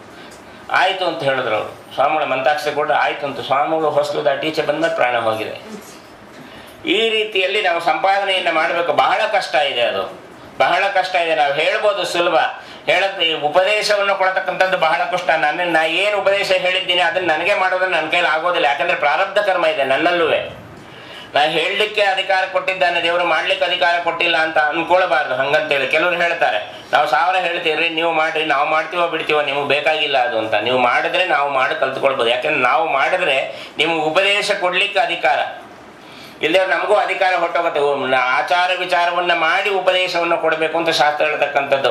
ನಾ ಎಲ್ಲೋ ತಿನ್ಕೊಂಡು, ಹೇಗೋ ತಿನ್ಕೊಂಡು ಇದ್ಬಿಟ್ಟು ಇದ್ದಕ್ಕಿದ್ದಂಗೆ ಬಂದ್ಬಿಟ್ಟು ನಾ ಇಲ್ಲಿ ಕುತ್ಕೊಂಡು ಉಪದೇಶ ಕೊಟ್ರೆ ಆ ಉಪದೇಶವೆಲ್ಲ ದೈತ್ಯ ಉಪದೇಶ ಅಂತ ಕಾಲೇ ಕಾಲನೇಮಿ ತಗೊಂಡು ಹೋಗ್ಬಿಡ್ತಾನೆ. ಮಹಾರುದ್ರ ದೇವರು ತಗೊಳ್ಳೋದಿಲ್ಲ ಅದಕ್ಕೋಸ್ಕರವಾಗಿ ಮಹಾರುದ್ರ ದೇವರು, ಇವತ್ತು ನೀವೆಲ್ಲ ಪ್ರವಚನಕ್ಕೆ ಬಂದಿದ್ದೀರಾ ಅಂತಂದ್ರೆ ಕಾಲಿನಲ್ಲಿ ತೃಣಾವರ್ತ ಇಲ್ಲ.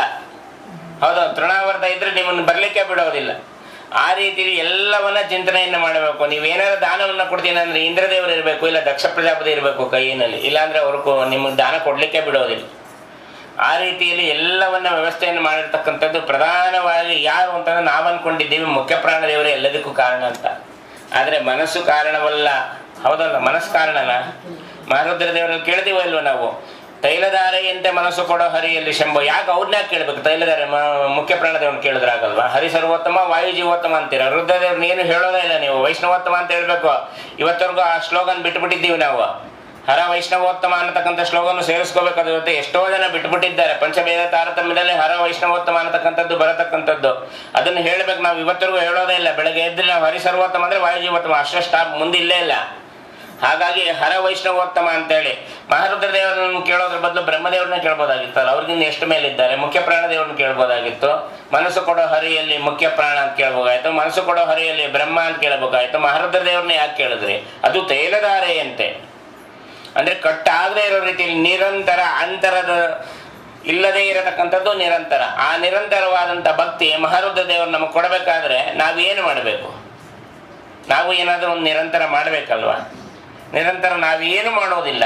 ಯಾವತ್ತೋ ನೆನಪು ಬಂದಾಗ, ನಮಗೇನೋ ಒಂದು, ಅದೇ, ಹುಮ್ಮಸ್ಸು ಬಂದಾಗ, ನಾವು ಅವಾಗ ಯಾವುದೋ ಒಂದು ದೇವ್ರ ಸ್ಮರಣೆ ಮಾಡಿಬಿಟ್ಟು, ಅಪ್ಪ, ಇವತ್ತೇನೋ ಮನಸ್ಸು ಸಮಾಧಾನ ಆಯ್ತಪ್ಪ, ಒಂದು ದೇವ್ರನಾಮ ಹೇಳಿದ್ದಕ್ಕೆ ಎಷ್ಟೋ ಖುಷಿ ಆಗಿರುತ್ತೆ. ಅದು ಅನುಭವ ನಿಮ್ಮ ನಿಮಗೆ ಗೊತ್ತಿರುತ್ತೆ. ಬಹಳ ಬೇಸರ ಆಗಿರುತ್ತೋ, ಏನೋ ಆಗಿರುತ್ತೆ. ಅವ್ರು ಬಂದು ಒಂದು ದೇವ್ರನಾಮ ಹೇಳಿದ್ರು, ನಮ್ಮ ಮನಸ್ಸಿಗೆ ಮನಸ್ಸಿಗೆ ಸಮಾಧಾನ ಆಯಿತು. ಇಲ್ಲ, ನನಗೆ ಮೂರು ದಿವಸದಿಂದ ಯಾಕೋ ದೇವ್ರನಾಮ ಹೇಳ್ಕೊಳ್ಲಿಕ್ಕೆ ಆಗಿರಲಿಲ್ಲ ಇವತ್ತು ನೆಮ್ಮದಿಯಾಗಿ ಕೂತ್ಕೊಂಡು ಹೇಳಿದೆ ರೀ ನಾವೇ ಅಂದ್ಕೊಂಡಿರ್ತೀವಿ ಈ ರೀತಿಯಲ್ಲಿ ಯಾಕೆ ನೆಮ್ಮದಿ ಅನ್ನತಕ್ಕಂಥದ್ದು ಬರುತ್ತೆ ಅಂದರೆ ಅವತ್ತು ಸಮಾಧಾನದಿಂದ ಹೇಳ್ಕೊಳ್ಬೇಕು. ಆ ಸಮಾಧಾನ ಯಾವತ್ತೂ ಧೃತಿ ಕೆಡಬಾರದು ನಾವು.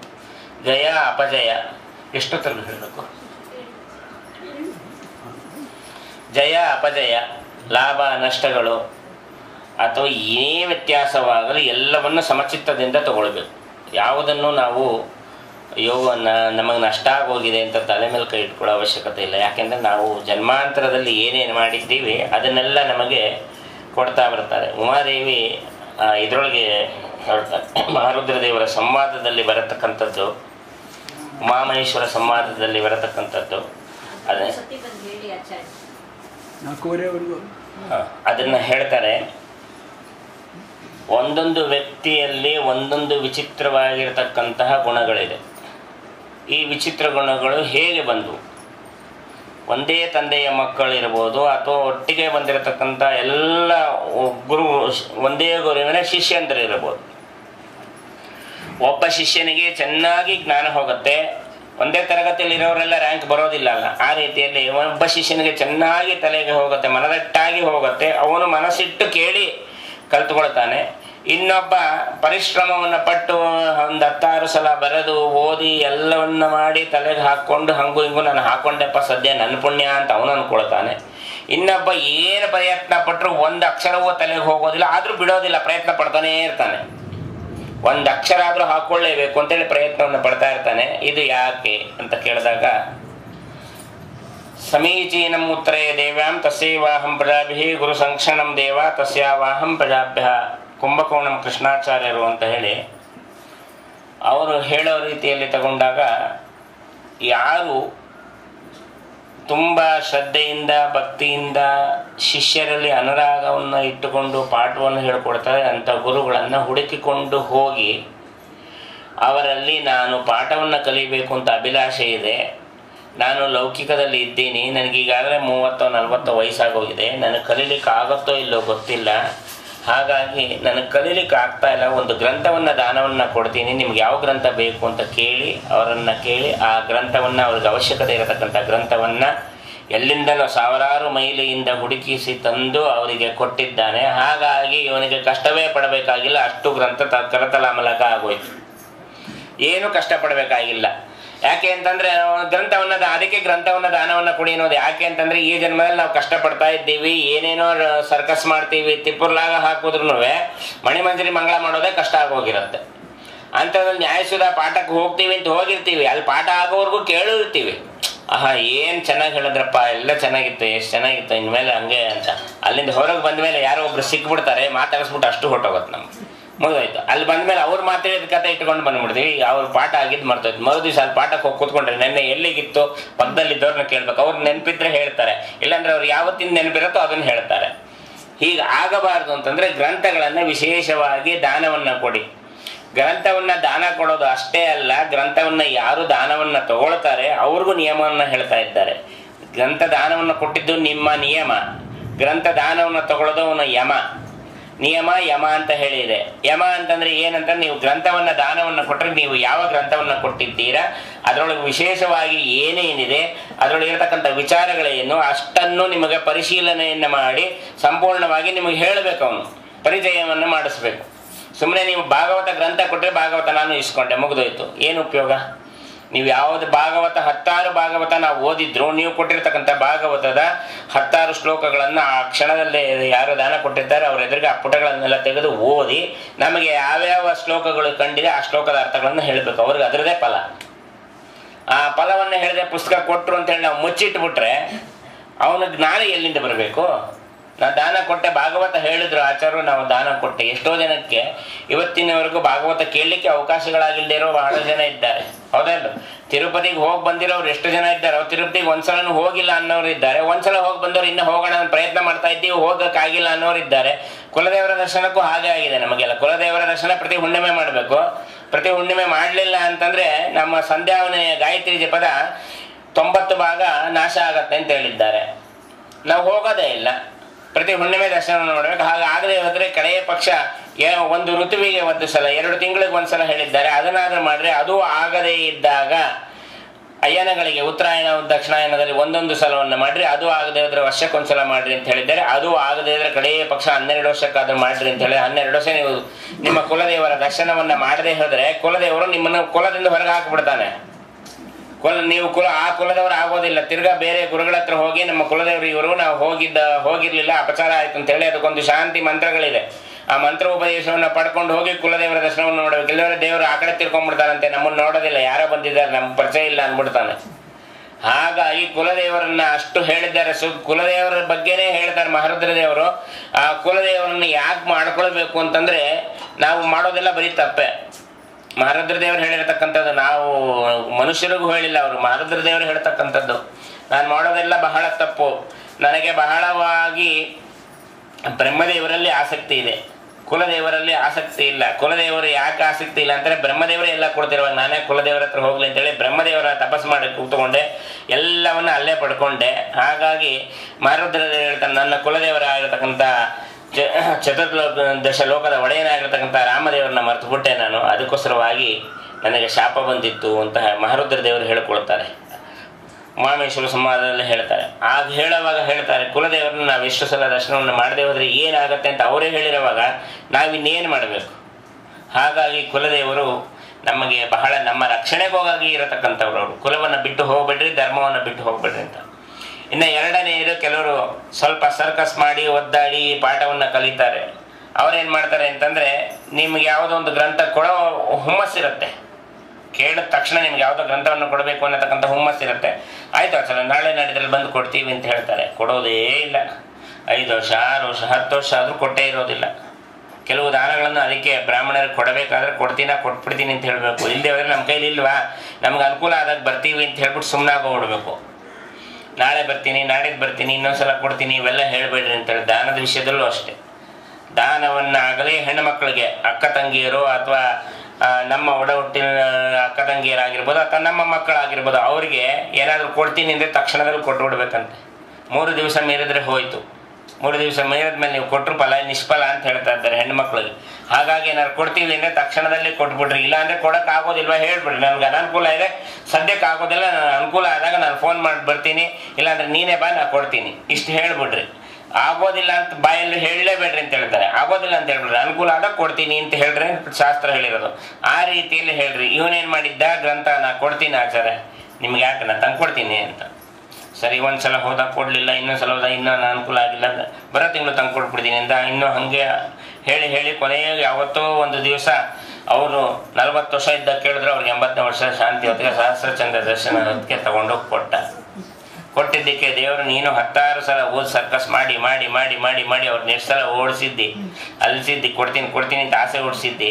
ಅದಕ್ಕೋಸ್ಕರವಾಗಿ ದೇವ್ರು ಏನು ಮಾಡ್ತಾನೆ ನೀವು ಓದು ಓದು ಓದು ಓದು, ಚೆನ್ನಾಗಿ ಓದು, ಆಮೇಲೆ ನಾನು ನಿನಗೆ ಮನನವನ್ನು ಮಾಡ್ತೀನಿ.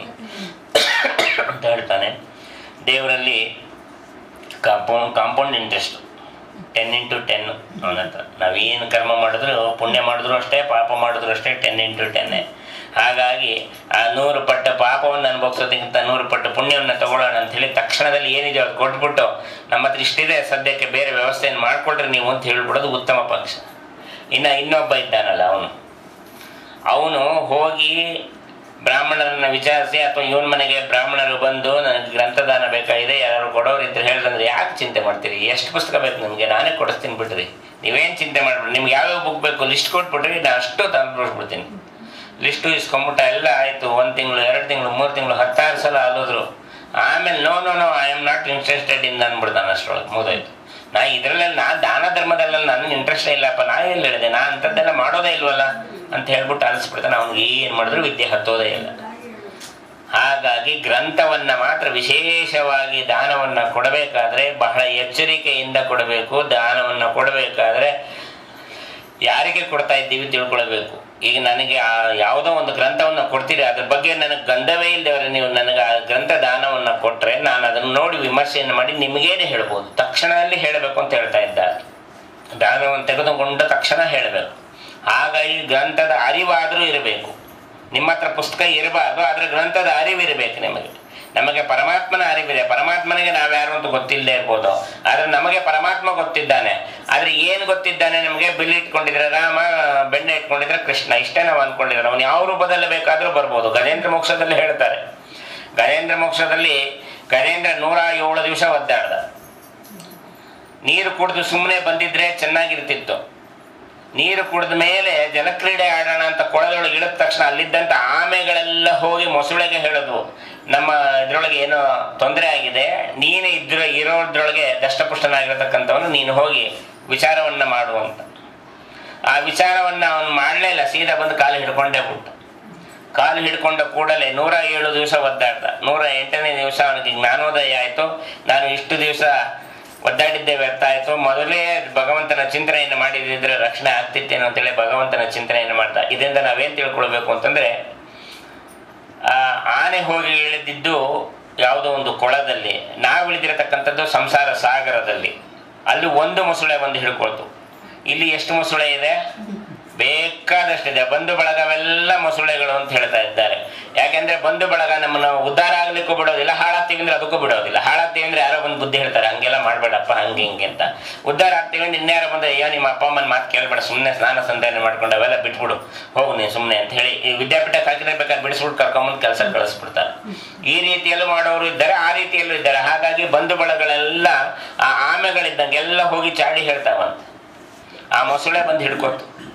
ಆ ಮೊಸಳೆ ಬಂದು ಹಿಡ್ಕೊಂಡಿರತಕ್ಕಂಥದ್ದೇ ಕಲಿ ಅನ್ನತಕ್ಕಂಥವು ನಮಗೇನಿದೆ ನಮಗೆ ಯಾವ ಕಲಿ ಇಲ್ಲಿ ಇರತಕ್ಕಂಥದ್ದು ಅಷ್ಟಮದ. ಇದಿದೆಯಲ್ಲ, ನಮ್ಮ ಕುಲ ಯಾವುದು, ನನ್ನ ವಂಶ ಯಾವುದು, ನಾನು ಎಷ್ಟು ಓದಿದ್ದೀನಿ ನನಗೆಷ್ಟು ಕೆಲಸ ಬರುತ್ತೆ ನನಗೆಷ್ಟು ಸಂಪಾದನೆ ಇದೆ, ನನಗೆ ಗೊತ್ತಿಲ್ಲದೆ ಇರೋ ಕೆಲಸ ಎಲ್ಲ ನನಗಿರೋಷ್ಟು ಅನುಭವ ನಿನಗಿದೆ ಇದೆಲ್ಲ ಮರಗಳಿದೆಯಲ್ಲ, ಈ ಮದಗಳೇ ಮೊಸಳೆ ಹಿಡ್ಕೊಂಡಿರತಕ್ಕಂಥದ್ದು ನಮಗೆ. ಇದರಿಂದ ನಾವು ಬಿಡಿಸ್ಕೊಳ್ಬೇಕು. ಇದರಿಂದ ಬಿಡಿಸ್ಕೊಳ್ಳೋದಕ್ಕೆ ಏನು ಉಪಾಯ ಅಂತಂದ್ರೆ ರುದ್ರಾಂತರ್ಗತ ಲಕ್ಷ್ಮೀ ನರಸಿಂಹದೇವರ ಸ್ಮರಣೆಯನ್ನು ಮಾಡ್ರಿ. ರುದ್ರಾಂತರ್ಗತ ವೇದವ್ಯಾಸ ದೇವರ ಸ್ಮರಣೆಯನ್ನು ಮಾಡ್ರಿ ಅಂತ ಹೇಳ್ತಾ ಇದ್ದಾರೆ. ವೇದವ್ಯಾಸ ದೇವರ ಸ್ಮರಣೆಯನ್ನು ಮಾಡಿದ್ರೆ ಗ್ರಂಥಾವಲೋಕನ ನರಸಿಂಹದೇವ ಸ್ಮರಣೆ ಮಾಡಿದ್ರೆ ಕಷ್ಟದಿಂದ ನಿವಾರಣೆ. ನಿಮಗೆ ಯಾವ್ದು ಬೇಕೋ ಕೇಳ್ರಿ. ಶ್ರೀನಿವಾಸ ಅಂತಂದ್ರೆ, ಅಯ್ಯೋ ಬಿಡಪ್ಪ, ಅವ್ನು ಬಹಳ ಕಷ್ಟ ದರ್ಶನಕ್ಕೆ ಅಂತ ನಾವಂತೀವಿ. ಏನು ಕಷ್ಟ ಕೊಡೋದಿಲ್ಲ ಅವನ್ ದರ್ಶನ.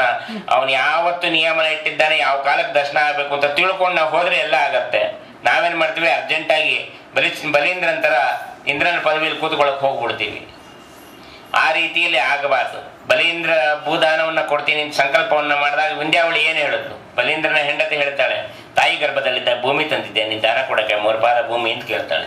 ಗಂಡ, ಬೆಲೆ ಕೊಡಬೇಕು, ಕೊಡ್ತೀನಿ. ತಾಯಿ ಗರ್ಭದಿಂದ ತಂದಿದ್ದ ನೀನು ಭೂಮಿ. ಎಲ್ಲಿಂದ ತಂದಿ ನೀನು ಭೂಮಿ? ಯಾರು ಕೊಡ್ತಾ ಇದೆಯಾ ದಾನವನ್ನು? ನೀನು ಕೊಡೋಕ್ಕೆ ಅಧಿಕಾರ ಇಲ್ಲ, ಯಾರು ಕೊಡ್ತೀಯ ನೀನು? ಅಂತ ಕೇಳ್ತಾಳೆ ಅವಳು. ಹಾಗೆ ನಾವೇನು ತಂದಿಲ್ಲ, ಎಲ್ಲವೂ ನಮ್ಮದೇ ಎಲ್ಲರೂ ನಮಗೇ ಬೆಲೆ ಕೊಡಬೇಕು ಅಂತ ಹೇಳಿ ಅನ್ಕೊಂಡಿದ್ದೀವಿ, ಇದನ್ನ ಬಿಡಬೇಕು. ಮಹಾರುದ್ರ ದೇವರು ಅಹಂಕಾರವನ್ನ ಬಿಡಿಸ್ತಕ್ಕಂಥವ್ರು. ಅಹಂಕಾರ ತತ್ವವನ್ನ ವಿಶೇಷವಾಗಿ ನಮಗೆ ಅಹಂಕಾರ ಅಂತಕ್ಕಂಥ ನಮಗೆ ಎಲ್ಲಿ ಬಂದು ಕೂತಿದೆ? ಹೃದಯದಲ್ಲಿ, ಮಸ್ತಕದಲ್ಲಿ, ಬುದ್ಧಿಯಲ್ಲಿ. ಮೂರಲ್ಲೂ ಅಹಂಕಾರ ಇದೆ. ಬುದ್ಧಿಯಲ್ಲಿ ಏನಿದೆ? ನೀವೆಲ್ಲರಿಗೆ ನಿಮ್ಗೆ ಯಾರಿಗೂ ಏನೂ ಗೊತ್ತಿಲ್ಲ, ನನಗೊಬ್ಬಂಗೆ ಗೊತ್ತಿರೋದು ಅಂತ ಕೂತ್ಕೋತಾರೆ ವ್ಯಾಸಪೀಠದಲ್ಲಿ ಕೂತ್ಕೊಂಡವ್ರು.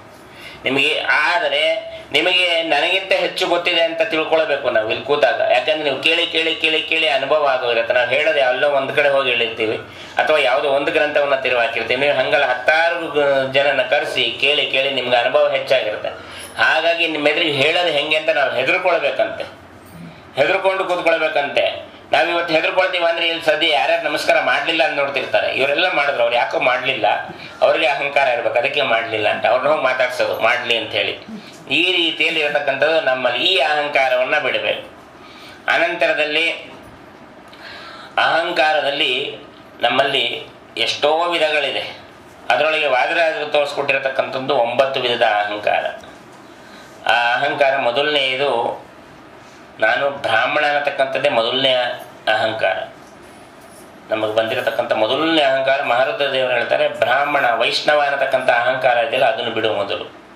ದಾಸಾನು ದಾಸ ನಾನು ಎಲ್ಲರಿಗೂ ದಾಸನಾಗಿದ್ದೇನೆ. ಮಹಾರುದ್ರ ದೇವರಿಗೂ ದಾಸರಾಗಬೇಕು ಗರುಡ ದೇವರು ಶೇಷದೇವರು, ಎಲ್ಲರಿಗೂ ನಾವು ದಾಸರಾಗಲೇಬೇಕು. ಅದ್ಯಾಪಿ ಇವತ್ತು ಯಾರ್ಯಾರು ಪೀಠದಲ್ಲಿ ಯತಿಗಳು ಕೂತಿದ್ದಾರೆ, ಅವ್ರಿಗೂ ನಾವು ದಾಸರೇ.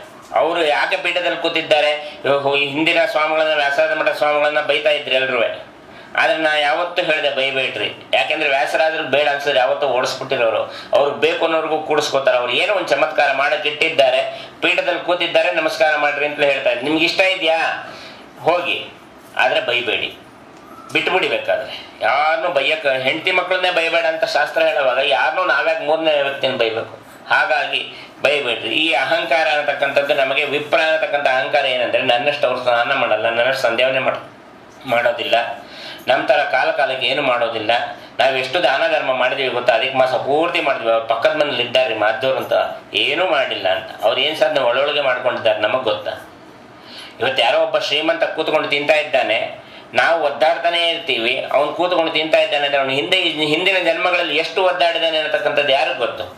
ಈ ಜನ್ಮದಲ್ಲಿ ಕೂತಿದ್ದು ನೋಡಿದ್ಯಾ ನೀನು ಅಂತ ಹೇಳ್ತಾರೆ. ಈ ಜನ್ಮದಲ್ಲಿ ಕೂತಿದ್ದು ನೋಡಿ ನಾವು ಹಿಂದಿನ ಜನ್ಮದಲ್ಲೆಲ್ಲ ಅವನು ಸುಖವಾಗಿದ್ದ ಅಂತಾರೆ ಹಿಂದಿನ ಜನ್ಮದೆಲ್ಲ ಶ್ರಮವನ್ನ ಈ ಜನ್ಮದಲ್ಲಿ ಪರಮಾತ್ಮ ಒಟ್ಟಿಗೆ ಕೊಟ್ಟಿದ್ದಾನೆ. ಸುಖವಾಗಿ ಕೂತು ತಿಂತಾ ಇದ್ದಾರೆ. ಆ ಕೂತು ತಿನ್ನುವ ಕಾಲದಲ್ಲಿ ಪರಮಾತ್ಮನನ್ನ ಮರಿಬೇಡ ಅಂತಾರೆ. ಪರಮಾತ್ಮ ನನಗೆ ಇಷ್ಟು ಕೊಟ್ಟಿದ್ಯಪ್ಪ ಇಷ್ಟು ಕೊಟ್ಟಿರೋದ್ರಲ್ಲಿ ನಾನು ಇಷ್ಟು ಈ ನೈವೇದ್ಯವನ್ನು ಮಾಡಬೇಕಾದ್ರೆ ಒಪ್ಪಿಸ್ಬಿಟ್ರೆ ಸಾಕು. ಏನು ಬೇಡ. ಸಂಚಿತ ಆಗಾಮಿ ಪ್ರಾರಬ್ಧ. ತಂದಿಟ್ಟಿರೋ ಪ್ರಾಯೋಜನ ಮಾಡಿಟ್ಟಿರೋ ಅಡುಗೆ, ತಿಂದಿರೋ ಊಟ, ಬೇರೆ ಏನು ಹೋಗ್ಲೇಬೇಡ್ರಿ ನೀವು. ಸದಾ ಪ್ರಾರಬ್ಧ ಅಂದ್ರೆ ಊಟ ಮಾಡಿಬಿಟ್ಟಿದ್ದೀವಿ. ಆಗಾಮಿ ಅಂದ್ರೆ ಮಾಡಿಟ್ಟಿರೋ ಅಡುಗೆ ಸಂಚಿತ ಅಂದ್ರೆ ಪ್ರಾವಿಷನ್ ತಂದಿಟ್ಟಿದ್ದೀವಿ. ಇನ್ನು ಏನು ಮಾಡಿಲ್ಲ. ಪ್ರಾವಿಷನ್ ನೀವು ಯಾವತ್ತು ಬೇಕಾದ್ರೂ ಉಪಯೋಗಿಸ್ಕೊಳ್ಬೋದು. ಹೌದಲ್ಲ? ದೇವ್ರು ಅದನ್ನೇ ನಮ್ಗೆ ಯಾವಾಗ ಬೇಕಾದ್ರೂ ಕೊಡ್ತಾನೆ. ಅವ್ನಿಗೆ ಅವನು ಇಷ್ಟ ಬಂದಾಗ ಕೊಡ್ತಾನೆ ನಮಗೆ. ನಮ್ಮ ಪ್ರಾರಬ್ಧವನ್ನು ನೋಡ್ಕೊಂಡು ಕೊಡ್ತಾನೆ. ತಡ್ಕೊಳ್ಳೋ ಶಕ್ತಿ ಇಲ್ವಾ? ಅವತ್ತು ಇವನು ಈ ಮುಂದಿನ ಜನ್ಮದ ಸಂಪೂರ್ಣ ಕಷ್ಟ ಇದೆ. ಒಂದು ಸ್ವಲ್ಪ ಅದು ಸುಖ ಪಡ್ಲಿ ಅಂತೇಳಿ ಯಾವುದೋ ಸುಖವನ್ನು ತಂದಿಲ್ಲ. ಹಾಕೊಡ್ತಾನೆ ಅವನು. ಹಾಗೆ ಅಡುಗೆ ಪ್ರಾವಿಷನ್ ತಂದಿಟ್ಟಿದ್ದೀವಿ. ಮಾಡಿಟ್ಟಿರೋ ಅಡುಗೆ ಟ್ವೆಂಟಿ ಫೋರ್ ಅವರ್ ಟೈಮು ಇಪ್ಪತ್ನಾಲ್ಕು ಗಂಟೆ ಒಳಗೆ ತಿನ್ಬೇಕಿಲ್ಲದ್ರೆ ಹಳಸೋಗುತ್ತೆ. ಫ್ರಿಜ್ಜಲ್ಲಿ ಇಟ್ಕೊಂಡ್ರೆ ನಿಮ್ಮ ಹಣೆ ಬರ ಅದು ನಮಗೆ ಗೊತ್ತಿಲ್ಲ. ಒಟ್ಟಿನಲ್ಲಿ ಇಪ್ಪತ್ನಾಲ್ಕು ಗಂಟೆ ಕಾಲ ಅದಕ್ಕೆ ಹಳಸೋಗುತ್ತೆ. ಆ ಇಪ್ಪತ್ನಾಲ್ಕು ಗಂಟೆ ಕಾಲದೊಳಗೆ ನೀವೇನು ಮಾಡ್ತೀರಾ? ನೀವು ತಿಂತೀರೋ ಬಂದವ್ರಿಗೆ ಬಿಡಿಸ್ತೀರೋ, ನಿಮಗೆ ಸೇರಿದ್ದು. ಹೌದಲ್ಲ ಇದು? ಸಂಚಿತ, ಮುಂದೆ ಗ್ಯಾರಂಟಿ ನಾವು ಬಂದೇ ಮಾಡಿಟ್ಟಿದ್ದೀವಿ ಅಂದ್ಮೇಲೆ ತಿನ್ನಲೇಬೇಕು ನಾವು. ತಿಂದೇ ತಿಂತೀವಿ. ಇದು, ಇನ್ನು ಪ್ರಾರಬ್ಧ ಊಟ ಮಾಡಿಬಿಟ್ಟಿದ್ದೀವಿ. ಅಜ್, ಅಜೀರ್ಣ ಆಗುತ್ತೋ, ಲೂಸ್ ಮೋಷನ್ ಆಗುತ್ತೋ, ವಾಮಿಟ್ ಆಗುತ್ತೋ, ಸಂಪೂರ್ಣ ಜೀರ್ಣ ಆಗಿ ಭಗವಂತನಲ್ಲಿ ಜ್ಞಾನ ಕೊಡುತ್ತೋ, ಭಗವಂತನಲ್ಲಿ ದ್ವೇಷ ಕೊಡುತ್ತೋ ಅನ್ನತಕ್ಕಂಥದ್ದು ಆಮೇಲೆ ಚಿಂತನೆಯನ್ನು ಮಾಡೋಣ. ಒಟ್ಟಿನಲ್ಲಿ ತಿಂದುಬಿಟ್ಟಿದ್ದೀವಿ. ಇದನ್ನ ನಾವು ಜೀರ್ಣಿಸ್ಕೊಳ್ಬೇಕು. ಇದೇ ಪ್ರಾರಬ್ಧ. ತಿಂದಿರತಕ್ಕಂಥ ಅನ್ನವನ್ನು ನಾವು ಹೊರಗೆ ತೆಗಿಯಕ್ಕಾಗತ್ತ? ಆಗದೆ ಮೇಲೆ ಪ್ರಾರಬ್ಧ ಅಂತ ಇದನ್ನೇ ಅನ್ನೋ ಇನ್ನೇನು ಕೊಂಚ ಮಾಡೋ ಪ್ರಾರಬ್ಧ ಅಂತಂದ್ರೆ, ತಿಂದ್ಬಿಟ್ಟಿದ್ದೆಪ್ಪ ಹೊಟ್ಟೆನೋ ಬರೆಸ್ಬೇಡ ಅಂತ ಕೇಳ್ಕೊಳ್ಬೇಕು ದೇವರನ್ನ. ಅದು ಬಿಟ್ಬಿಟ್ಟು ನಾವು ಇನ್ನೇನೇನೋ ಯಾವುದೋ ಪ್ರಾರಬ್ಧ ಅಂದ್ರೆ ಎಲ್ಲೋ ಇದೆ ಅನ್ಕೊಂಡ್ಬಿಡ್ತೀವಿ ದೇವೇಂದ್ರ ತೀರ್ಥರು ಕೇಳೋರು ನೀನು ಪ್ರಾರಬ್ಧ ಪ್ರಾರಬ್ಧ ಅಂತಿಲ್ಲ ಪ್ರಾರಬ್ಧ ಅಂದ್ರೆ ಏನು ಅನ್ಕೊಂಡಿದ್ಯಾ? ನಿನ್ನ ಪರ್ಸಲ್ಲಿರೋ ದುಡ್ಡೆ, ಜೋಬಲ್ಲಿರುತ್ತೆ. ಯಾರಿಗೋ ಕೊಡಬೇಕು. ಹತ್ತಾರು ಸಾವಿರ ರೂಪಾಯಿ ಇಟ್ಕೊಂಡಿದ್ದೆ. ಯಾರಿಗೋ ಕೊಡಲೇಬೇಕು ಸಾಯಂಕಾಲ ಬೆಳಗ್ಗೆ ಇಟ್ಕೊಂಡಿದ್ದೆ ಜಾಬಲ್ಲಿ ದುಡ್ಡು ನೋಡ್ತೀಯಾ? ಅಲ್ಲಿ ಏನೇನೋ ನೋಡ್ತೀಯಾ? ತಿನ್ನಬೇಕು ಅನ್ಸುತ್ತೆ, ಕುಡಿಬೇಕು ಅನ್ಸುತ್ತೆ. ಅವ್ರಿಗೆ ಯಾರಿಗೋ ದಾನ ಕೊಡೋಣ ಅನ್ಸುತ್ತೆ ಅಥವಾ ದೇವಸ್ಥಾನಕ್ಕೆ ಹೋಗಿ ಬರ್ಸೋಣ ಅನ್ಸುತ್ತೆ, ಎಲ್ಲ ಅನ್ಸುತ್ತೆ. ಅಯ್ಯೋ, ಅವ್ರಿಗೆ ಕೊಡಬೇಕು ಅವ್ರಿಗೆ ಕೊಡಬೇಕು. ಇದೇ ಪ್ರಾರಂಭ ಇನ್ನೇನಿಲ್ಲ. ಜಾಬಲ್ಲಿ ದುಡ್ಡಿದೆ, ಖರ್ಚು ಮಾಡೋ ಹಂಗಿಲ್ಲ. ಆಯುಸ್ಸಿದೆ, ಆರೋಗ್ಯ ಇದೆ, ಸಾಧನೆ ಮಾಡ್ತಾ ಇಲ್ಲ ಅಂತ ಅರ್ಥ. ಸಾಧನೆಯನ್ನ ಮಾಡಬೇಕು ನಾವು. ಸಾಧನೆ ಯಾವ ರೀತಿ ಸಾಧನ ಶರೀರವನ್ನು ನೀದೆಯದೆ ಕೊಟ್ಟದ್ದು ಸಾಧಾರಣವಲ್ಲ ಸಾಧು ಪ್ರಿಯನೇ ಸಾಧನೆಗೆ ಎಷ್ಟೋ ಜನ ಏಕಾಸಿಯನ್ನು ನಿರಾಹಾರ ಮಾಡಿ ಅಂತ ಎಲ್ಲೂ ಹೇಳಿಲ್ಲ ಅಂತ ಹೇಳ್ತಾರೆ. ಅವ್ರು ಯಾವ ಗ್ರಂಥ ಓದಿದ್ದಾರೋ ಏನೋ ಗೊತ್ತಿಲ್ಲ. ಆದರೆ ಸಾಧನ ಶರೀರ ಅಂತ ಅಂದ ಮೇಲೆ ಯಾವ ಉಪವಾಸ ವ್ರತಗಳಲ್ಲೇ ಯಾಕೆ ಮಾಡ್ತಾ ಇದ್ರೆ ಹಾಗಾದ್ರೆ? ಉಪವಾಸ ಮಾಡಬೇಡಿ ಅನ್ನೋದಾದ್ರೆ ಚಾತುರ್ಮಾಸ ವ್ರತವೇ ಬೇಕಾಗಿರಲಿಲ್ಲ. ಈಗ ಅಧಿಕ ಮಾಸ, ಅಧಿಕ ಮಾಸದಲ್ಲಿ ವಿಶೇಷವಾಗಿ ನಾಲ್ಕು ವಾರದಲ್ಲಿ ನಾಲ್ಕು ವ್ರತಗಳನ್ನು ಮಾಡಿಬಿಡ್ರಿ ಒಂದು ವರ್ಷದ ವ್ರತ ಮಾಡಿದ ಪುಣ್ಯವನ್ನು ಕೊಡ್ತೀನಿ ಅಂತ ಹೇಳಿದ್ದಾರೆ ಶಾಖ ವ್ರತ ಕ್ಷೀರ ವ್ರತ ದದಿ ವ್ರತ ಏನಿದೆ, ಆ ವ್ರತವನ್ನು ಮೊದಲನೇ ಪಾಠ್ಯದಿಂದ ಹಿಡಿದು ಒಂದೊಂದು ವಾರಕ್ಕೆ ಭಾಗವನ್ನು ಮಾಡಿಕೊಳ್ರಿ, ಮಧ್ಯದಲ್ಲಿ ಎರಡು ಏಕಾದಶಿ ಬರುತ್ತೆ. ಆ ಎರಡು ಏಕಾದಶಿ ಒಂದು ಅಮಾವಾಸ್ಯೆ ಬಿಟ್ಟರೆ ನಿಮಗೆ ಸರಿ ಹೋಗುತ್ತೆ. ಒಂದೊಂದು ವಾರ ಮಾಡಿಕೊಳ್ರಿ ನಿಮಗೆ. ಆ ವ್ರತದ ಪುಣ್ಯ ಒಂದು ವರ್ಷದ ಪುಣ್ಯವನ್ನು ಅಧಿಕ ಮಾಸದಲ್ಲಿ ನೀವು ಮಾಡಿಬಿಟ್ರೆ ಆ ವರ್ಷದ ಪುಣ್ಯ ಬರುತ್ತೆ. ನಮ್ಗೆ ಚಾತುರ್ಮಾಸ ಮಾಡ್ಲಿಕ್ಕೆ ಆಗ್ಲಿಲ್ಲ ಅಂತ ಕೊರಗತ್ ತಪ್ಪತ್ತಲ್ವಾ? ಅಟ್ಲೀಸ್ಟ್ ಮೂವತ್ತ್ ಮೂರು ತಿಂಗಳಿಗೆ ಒಂದ್ಸಲ ಬರುತ್ತೆ. ಮೂವ ಎರಡು ವರ್ಷದ ಹೋಗ್ಬಿಡ್ಲಿ, ಒಂದ್ ವರ್ಷದಾದ್ರೂ ಬರ್ಲಿ ನಮ್ಗೆ. ಆ ರೀತಿ ಎಲ್ಲಾದ್ರೂ ಸಾಧನೆಯನ್ನು ಮಾಡ್ಕೊಳ್ಳೋಣ. ಚಾತುರ್ಮಾಸ ವ್ರತವನ್ನ ಮಾಡ್ಲಿಕ್ಕೆ ಆಗ್ಲಿಲ್ಲ ಅಂತ ಕೊರಗೋದು ಬೇಡ. ಒಂದೊಂದು ವಾರ ಬಿಡ್ಲಿಕ್ಕೆ ಆಗ್ಲಿಲ್ಲ ಅಂದ್ಮೇಲೆ ಮನುಷ್ಯ ಜನ್ಮ ವ್ಯರ್ಥ. ಈ ರೀತಿಯಲ್ಲಿ ಸಾಧನೆಯನ್ನು ಮಾಡಬೇಕು. ಈ ಅಧಿಕ ಮಾಸಕ್ಕೆ ಮಲಮಾಸ ಅಂತ ಇದ್ರು. ಮೊದಲೆಲ್ಲ ಮಲಮಾಸ ಮಲಮಾಸ ಅಂತಂದ್ರೆ ಏನು? ಏನೂ ಮಾಡಬಾರದು ಅನ್ನೋದಕ್ಕೋಸ್ಕರವಾಗಿ ಮಲಮಾಸ ಅಂತ ಮಾಡಿದ್ರು. ಅನಂತರದಲ್ಲಿ ಎಲ್ಲ ನಾರರಾದ ದೇವತೆಗಳೆಲ್ಲ ಹೋಗಿ ಕೇಳಿದ್ರು ಕಲಿಯುಗದಲ್ಲಿ ಮಾನವರೆಲ್ಲ, ಈ ಒಂದು ತಿಂಗಳು ಸುಮ್ಮನೆ ಊಟ, ತಿಂಡಿ ಮಾಡ್ಕೊಂಡು ಕಾಲ ಕಳೀತಾರೆ, ಏನೂ ಮಾಡೋದಿಲ್ಲ, ಅದಕ್ಕೆ ಏನಾದ್ರು ಒಂದು ವ್ಯವಸ್ಥೆ ಮಾಡು ಪರಮಾತ್ಮ ಅಂತ ಹೇಳಿ. ಬ್ರಹ್ಮದೇವರು ಹೇಳಿದ್ರು, ಏನು ಮಾಡಬೇಕು ನಾವೊಂದು ವಿಜ್ಞಾಪನೆಯನ್ನು ಮಾಡ್ಕೊಳ್ತೀನಿ ಅಂತ. ನೀನು ಪದ್ಮಿನಿ ಮತ್ತು ಪುರುಷೋತ್ತಮನಾಗಿ ಆ ಮಾಸಕ್ಕೆ ಅಧಿಕವಾಗಿ ಬಂದು ಕೂತ್ಕೊಂಡು, ಎಲ್ಲದಕ್ಕಿಂತ ಅಧಿಕವಾಗಿರ್ತಕ್ಕಂಥದ್ದು ನೀನೇ, ಅಧಿಕನಾದವನು ನೀನೇ ನೀನೇ ಆ ಮಾಸಕ್ಕೆ ಅಭಿಮಾನಿಯಾಗಿ ಕೂತ್ಕೊಂಡ್ಬಿಡು, ದೇವತೆಯಾಗಿ. ಪರಮಾತ್ಮ ಕೇಳಿದ ಹಾಗೆ ಆಗಲಿ ಏನೇನು ಮಾಡಿಸ್ಬೇಕು ಅಂತಿದ್ಯಾ ಜನರ ಕೈಲಿ? ಮುಂದೆ ಭಕ್ತಾದಿಗಳು ಬರ್ತಾರೆ, ಅವ್ರ ಕೈಲಿ ಏನೇನು ಮಾಡಿಸ್ಬೇಕು ಅಂತಿದ್ಯಾ? ಏನಾದರೂ ಮಾಡಲಿ ಮೂವತ್ತ್ಮೂರು ಮೂವತ್ತ್ಮೂರು ಮೂವತ್ತ್ಮೂರು ಅಂತ ಅನ್ಕೊಂಬಿಟ್ಟಿದ್ದೀವಿ ನಾವು. ಮೂವತ್ತ್ಮೂರು ಯಾತಿಗೆ ಕೊಡ್ತಾ ಇದ್ದೀವಿ? ಆ ಮೂವತ್ತ್ಮೂರಲ್ಲಿ ಏನಿದೆ ಅನ್ನತಕ್ಕಂಥದ್ದನ್ನು ತಿಳ್ಕೊಳ್ಬೇಕು. ಮೂವತ್ತ್ಮೂರು ಅಂತಂದರೆ ಮೂವತ್ತ್ಮೂರು ಕೋಟಿ ದೇವತೆಗಳು. ಬಂಗಾರದ ತಟ್ಟೆಯಲ್ಲಿ ಇಟ್ಟು ಮೂವತ್ತ್ಮೂರು ಅಪೂಪವನ್ನು, ದಾನವನ್ನು ಕೊಟ್ಟರೆ ಮಹಾಲಕ್ಷ್ಮಿ ಶ್ರೀ ಭೂ ದುರ್ಗಾ ಸಮೇತವಾಗಿ ನೀವು ಕೊಟ್ಟಿರತಕ್ಕಂಥ ಫಲ ಬರುತ್ತೆ. ಹಿತ್ತಾಳ ತಟ್ಟೆಯಲ್ಲಿ ಇಟ್ಟು ಕೊಟ್ಟರೆ ಕೇವಲ ದುರ್ಗಾದೇವಿಯ ಜೊತೆಯಲ್ಲಿ ಕೊಟ್ಟ ಪುಣ್ಯ, ಬ್ರಹ್ಮಾಂಡವನ್ನು ಕೊಟ್ಟ ಪುಣ್ಯ ಬರತಕ್ಕಂಥದ್ದು. ಮತ್ತು ಅದು ಬಿಟ್ಟು ಉಳಿದಿದ್ದ ಕಲಿಯುಗಕ್ಕೆ ಲೆಕ್ಕವೇ ಇಲ್ಲ ಅಂತ ಹೇಳಿದ್ದಾರೆ. ಹಾಗಾಗಿ ಕೊಡಬೇಡ್ರಿ ಅಂತ ಹೇಳ್ತಾ ಇದ್ದಾರೆ. ತಾಮ್ರದ ತಟ್ಟೆಯಲ್ಲಂತೂ ಕೊಡಲೇಬಾರದು. ಮದ್ಯಕ್ಕೆ ಸಮಾನ ಅಂತ ಹೇಳಿ. ಅಪೂಪ ತಾಮ್ರದ ತಟ್ಟೆಯಲ್ಲಿ ಇಟ್ಟರೆ ಮದ್ಯ ಸೇವನೆ ಮಾಡಿದರೆ ಏನು ಫಲ? ಇದೆ ಅದೇ ಫಲ. ಬ್ರಹ್ಮಸೂತ್ರ ಭಾಷ್ಯವನ್ನು ಕಡ್ದಾಗ ಮೂರು ಬಂತು. ಈಗ ಒಂದು ಸಮುದ್ರ ಮತನ ಮಾಡಿದಾಗ ಬಂತು, ಹಾಲಾಹಲ ಬಂತು, ಅಮೃತ ಬಂತು, ಸುರ ಬಂತು. ಅದೇ ರೀತಿಯಲ್ಲಿ ಮಹಾ ಬ್ರಹ್ಮಸೂತ್ರ ಭಾಷೆಯನ್ನು ಕಡಿದಾಗಲೂ ಮೂರೇ ಬಂದಿದ್ದು. ಮೊದಲು ಬಂದಿರತಕ್ಕಂಥದ್ದು ಹಾಲಾಹಲ. ಆ ಹಾಲಾಹಲ ಏನಂತಂದ್ರೆ ಶಿವೋಹಂ.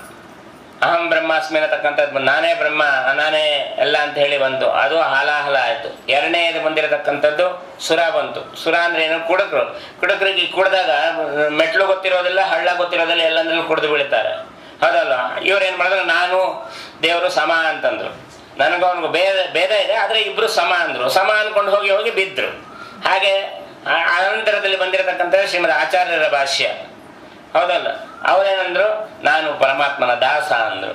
ಉದ್ಧಾರ ಆದರು. ನಾವು ಯಾವತ್ತು ಸೋತ್ರೇನೆ ಉದ್ಧಾರ ಆಗುವುದು ಅನ್ನೋದನ್ನು ತೋರಿಸ್ಕೊಟ್ರು. ಆ ರೀತಿಯಲ್ಲಿ ಇವತ್ತು ನಾವೆಲ್ಲರೂ ಒಂದು ಪದವನ್ನು ಹೇಳ್ತಾರೆ, ಮನೇಲಿ ಏನಾದರೂ ಒಂದು ಕಾರ್ಯ ಆದರೆ ದೇವ್ರ ಮೇಲೆ ಭಾರ ಹಾಕ್ಬಿಟ್ಟು ಮಾಡಿಬಿಡೋಣ ಅಂತ.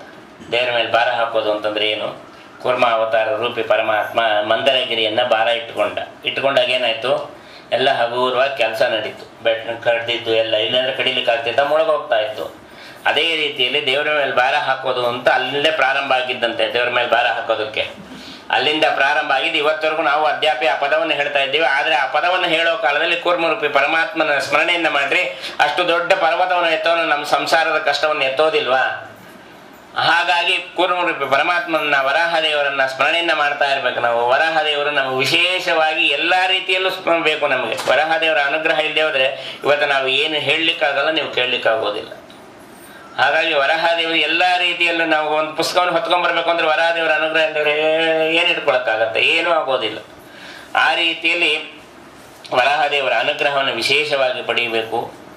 ಅನಂತರದಲ್ಲಿ ಜ್ಞಾನೇ ಜ್ಞಾನಂ ದೇವಾಯ ತಸ್ಯೈವಾಂ ಪ್ರಜಾಭ್ಯ, ಏತಾದಿ ದಿಗ್ವಂತಿ ದೇವತಾಭ್ಯಾಂ ತಸ್ಯಾನಾಂ ಪ್ರತಿಷ್ಠಿತಾಯ ಈಗ ನಮಗೆ ಗೊತ್ತಿರಲಿಲ್ಲ. ಮುಂಚೆ ಏನು ವಿಚಾರ ಗೊತ್ತಿರೋದಿಲ್ಲ. ಯಾರೋ ಏನೋ ಹೇಳಿದ್ರು, ಅಯ್ಯಪ್ಪಂಗೂ ಹೋಗಿ ನಮಸ್ಕಾರ ಮಾಡಿದ್ವಿ, ಅಯ್ಯಪ್ಪನೇ ಸರ್ವೋತ್ತಮ ಅನ್ಕೊಂಡ್ವಿ, ಗಣೇಶನೇ ಸರ್ವೋತ್ತಮ ಅನ್ಕೊಂಡ್ವಿ, ಅಥವಾ ಇನ್ಯಾವುದ್ಯಾವುದೋ ದೇವರುಗಳನ್ನ ಹೇಳಿದ್ರು ಎಲ್ಲರನ್ನೂ ಸರ್ವೋತ್ತಮ ಅಂತ ನಮಸ್ಕಾರವನ್ನು ಮಾಡಿಬಿಟ್ಟಿದ್ದೀವಿ. ಈಗ ಹರಿ ಸರ್ವೋತ್ತಮ ಅನ್ನತಕ್ಕಂಥ ಜ್ಞಾನ ಯಾರ್ಯಾರೋ ಹೇಳಿದ್ಮೇಲೆ ಒಂಚೂರು ತಲೆಗೆ ಹೋಗಿದೆ. ಹೋಗ್ಬಿಟ್ಟು ಏನಾಗಿದೆ ಅಂತ ನಮಗೂ ಲಾಟ್ ಆಫ್ ಕನ್ಫ್ಯೂಷನ್ ಇವ್ನು ನಂಬದ, ಅವ್ರನ್ನ ನಂಬದ. ಯಾಕಂದ್ರೆ ನಾನು ಗಣೇಶನ ಪೂಜೆ ಮಾಡಿದ್ಮೇಲೆ ಅಥವಾ ಅಯ್ಯಪ್ಪಂಗೆ ಹೋಗಿ ಬಂದ್ಮೇಲೆ ನನಗೆಲ್ಲ ಅನುಕೂಲ ಆಯಿತು. ವಿಷ್ಣು ನನಗೆ ಅನುಕೂಲ ಮಾಡ್ತಾನೋ ಇಲ್ಲೋ ಅನ್ನತಕ್ಕಂಥ ಅನುಮಾನಗಳು ಪ್ರಾರಂಭ ಆಗುತ್ತೆ. ಅದಕ್ಕೆ ಈ ಕೆಲವು ದೇವತೆಗಳನ್ನು ನಾವು ಹೇಳಲಿಕ್ಕೆ ಬರೋದಿಲ್ಲ. ಪ್ರವಚನಗಳಲ್ಲಿ ಹೇಳಿದ್ರೆ ಅದೆಲ್ಲ ಅಭಾಸ ಆಗುತ್ತೆ. ಆದರೂ ಸಹ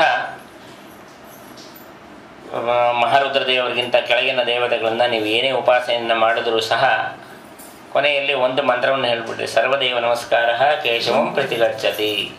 ಅಲ್ಲಿ ದಕ್ಷ ಪ್ರಜಾಪತಿ ಕೋಪವನ್ನು ಮಾಡಿಕೊಂಡಾಗ ಮಾರುದ್ರ ದೇವರು ಅದನ್ನು ಹೇಳ್ತಾ ಇದ್ದಾರೆ. ನಾನು ನಿನಗೆ ನಮಸ್ಕಾರ ಮಾಡಿದ್ರು ಪರಮಾತ್ಮನಿಗೆ ಹೋಗ್ತಾ ಇದ್ದಿದ್ದು. ನಾನು ಕೂತಿದ್ದು ಶ್ರೀಮನ್ ನಾರಾಯಣನ ಸ್ಮರಣೆಯನ್ನು ಮಾಡ್ತಾ ಕೂತಿದ್ದೆ. ಬ್ರಹ್ಮಾಂತರ್ಗತ ನಾರಾಯಣನ ಸ್ಮರಣೆಯನ್ನು ಮಾಡ್ತಾ ಇದ್ದೆ ಅಷ್ಟೇ.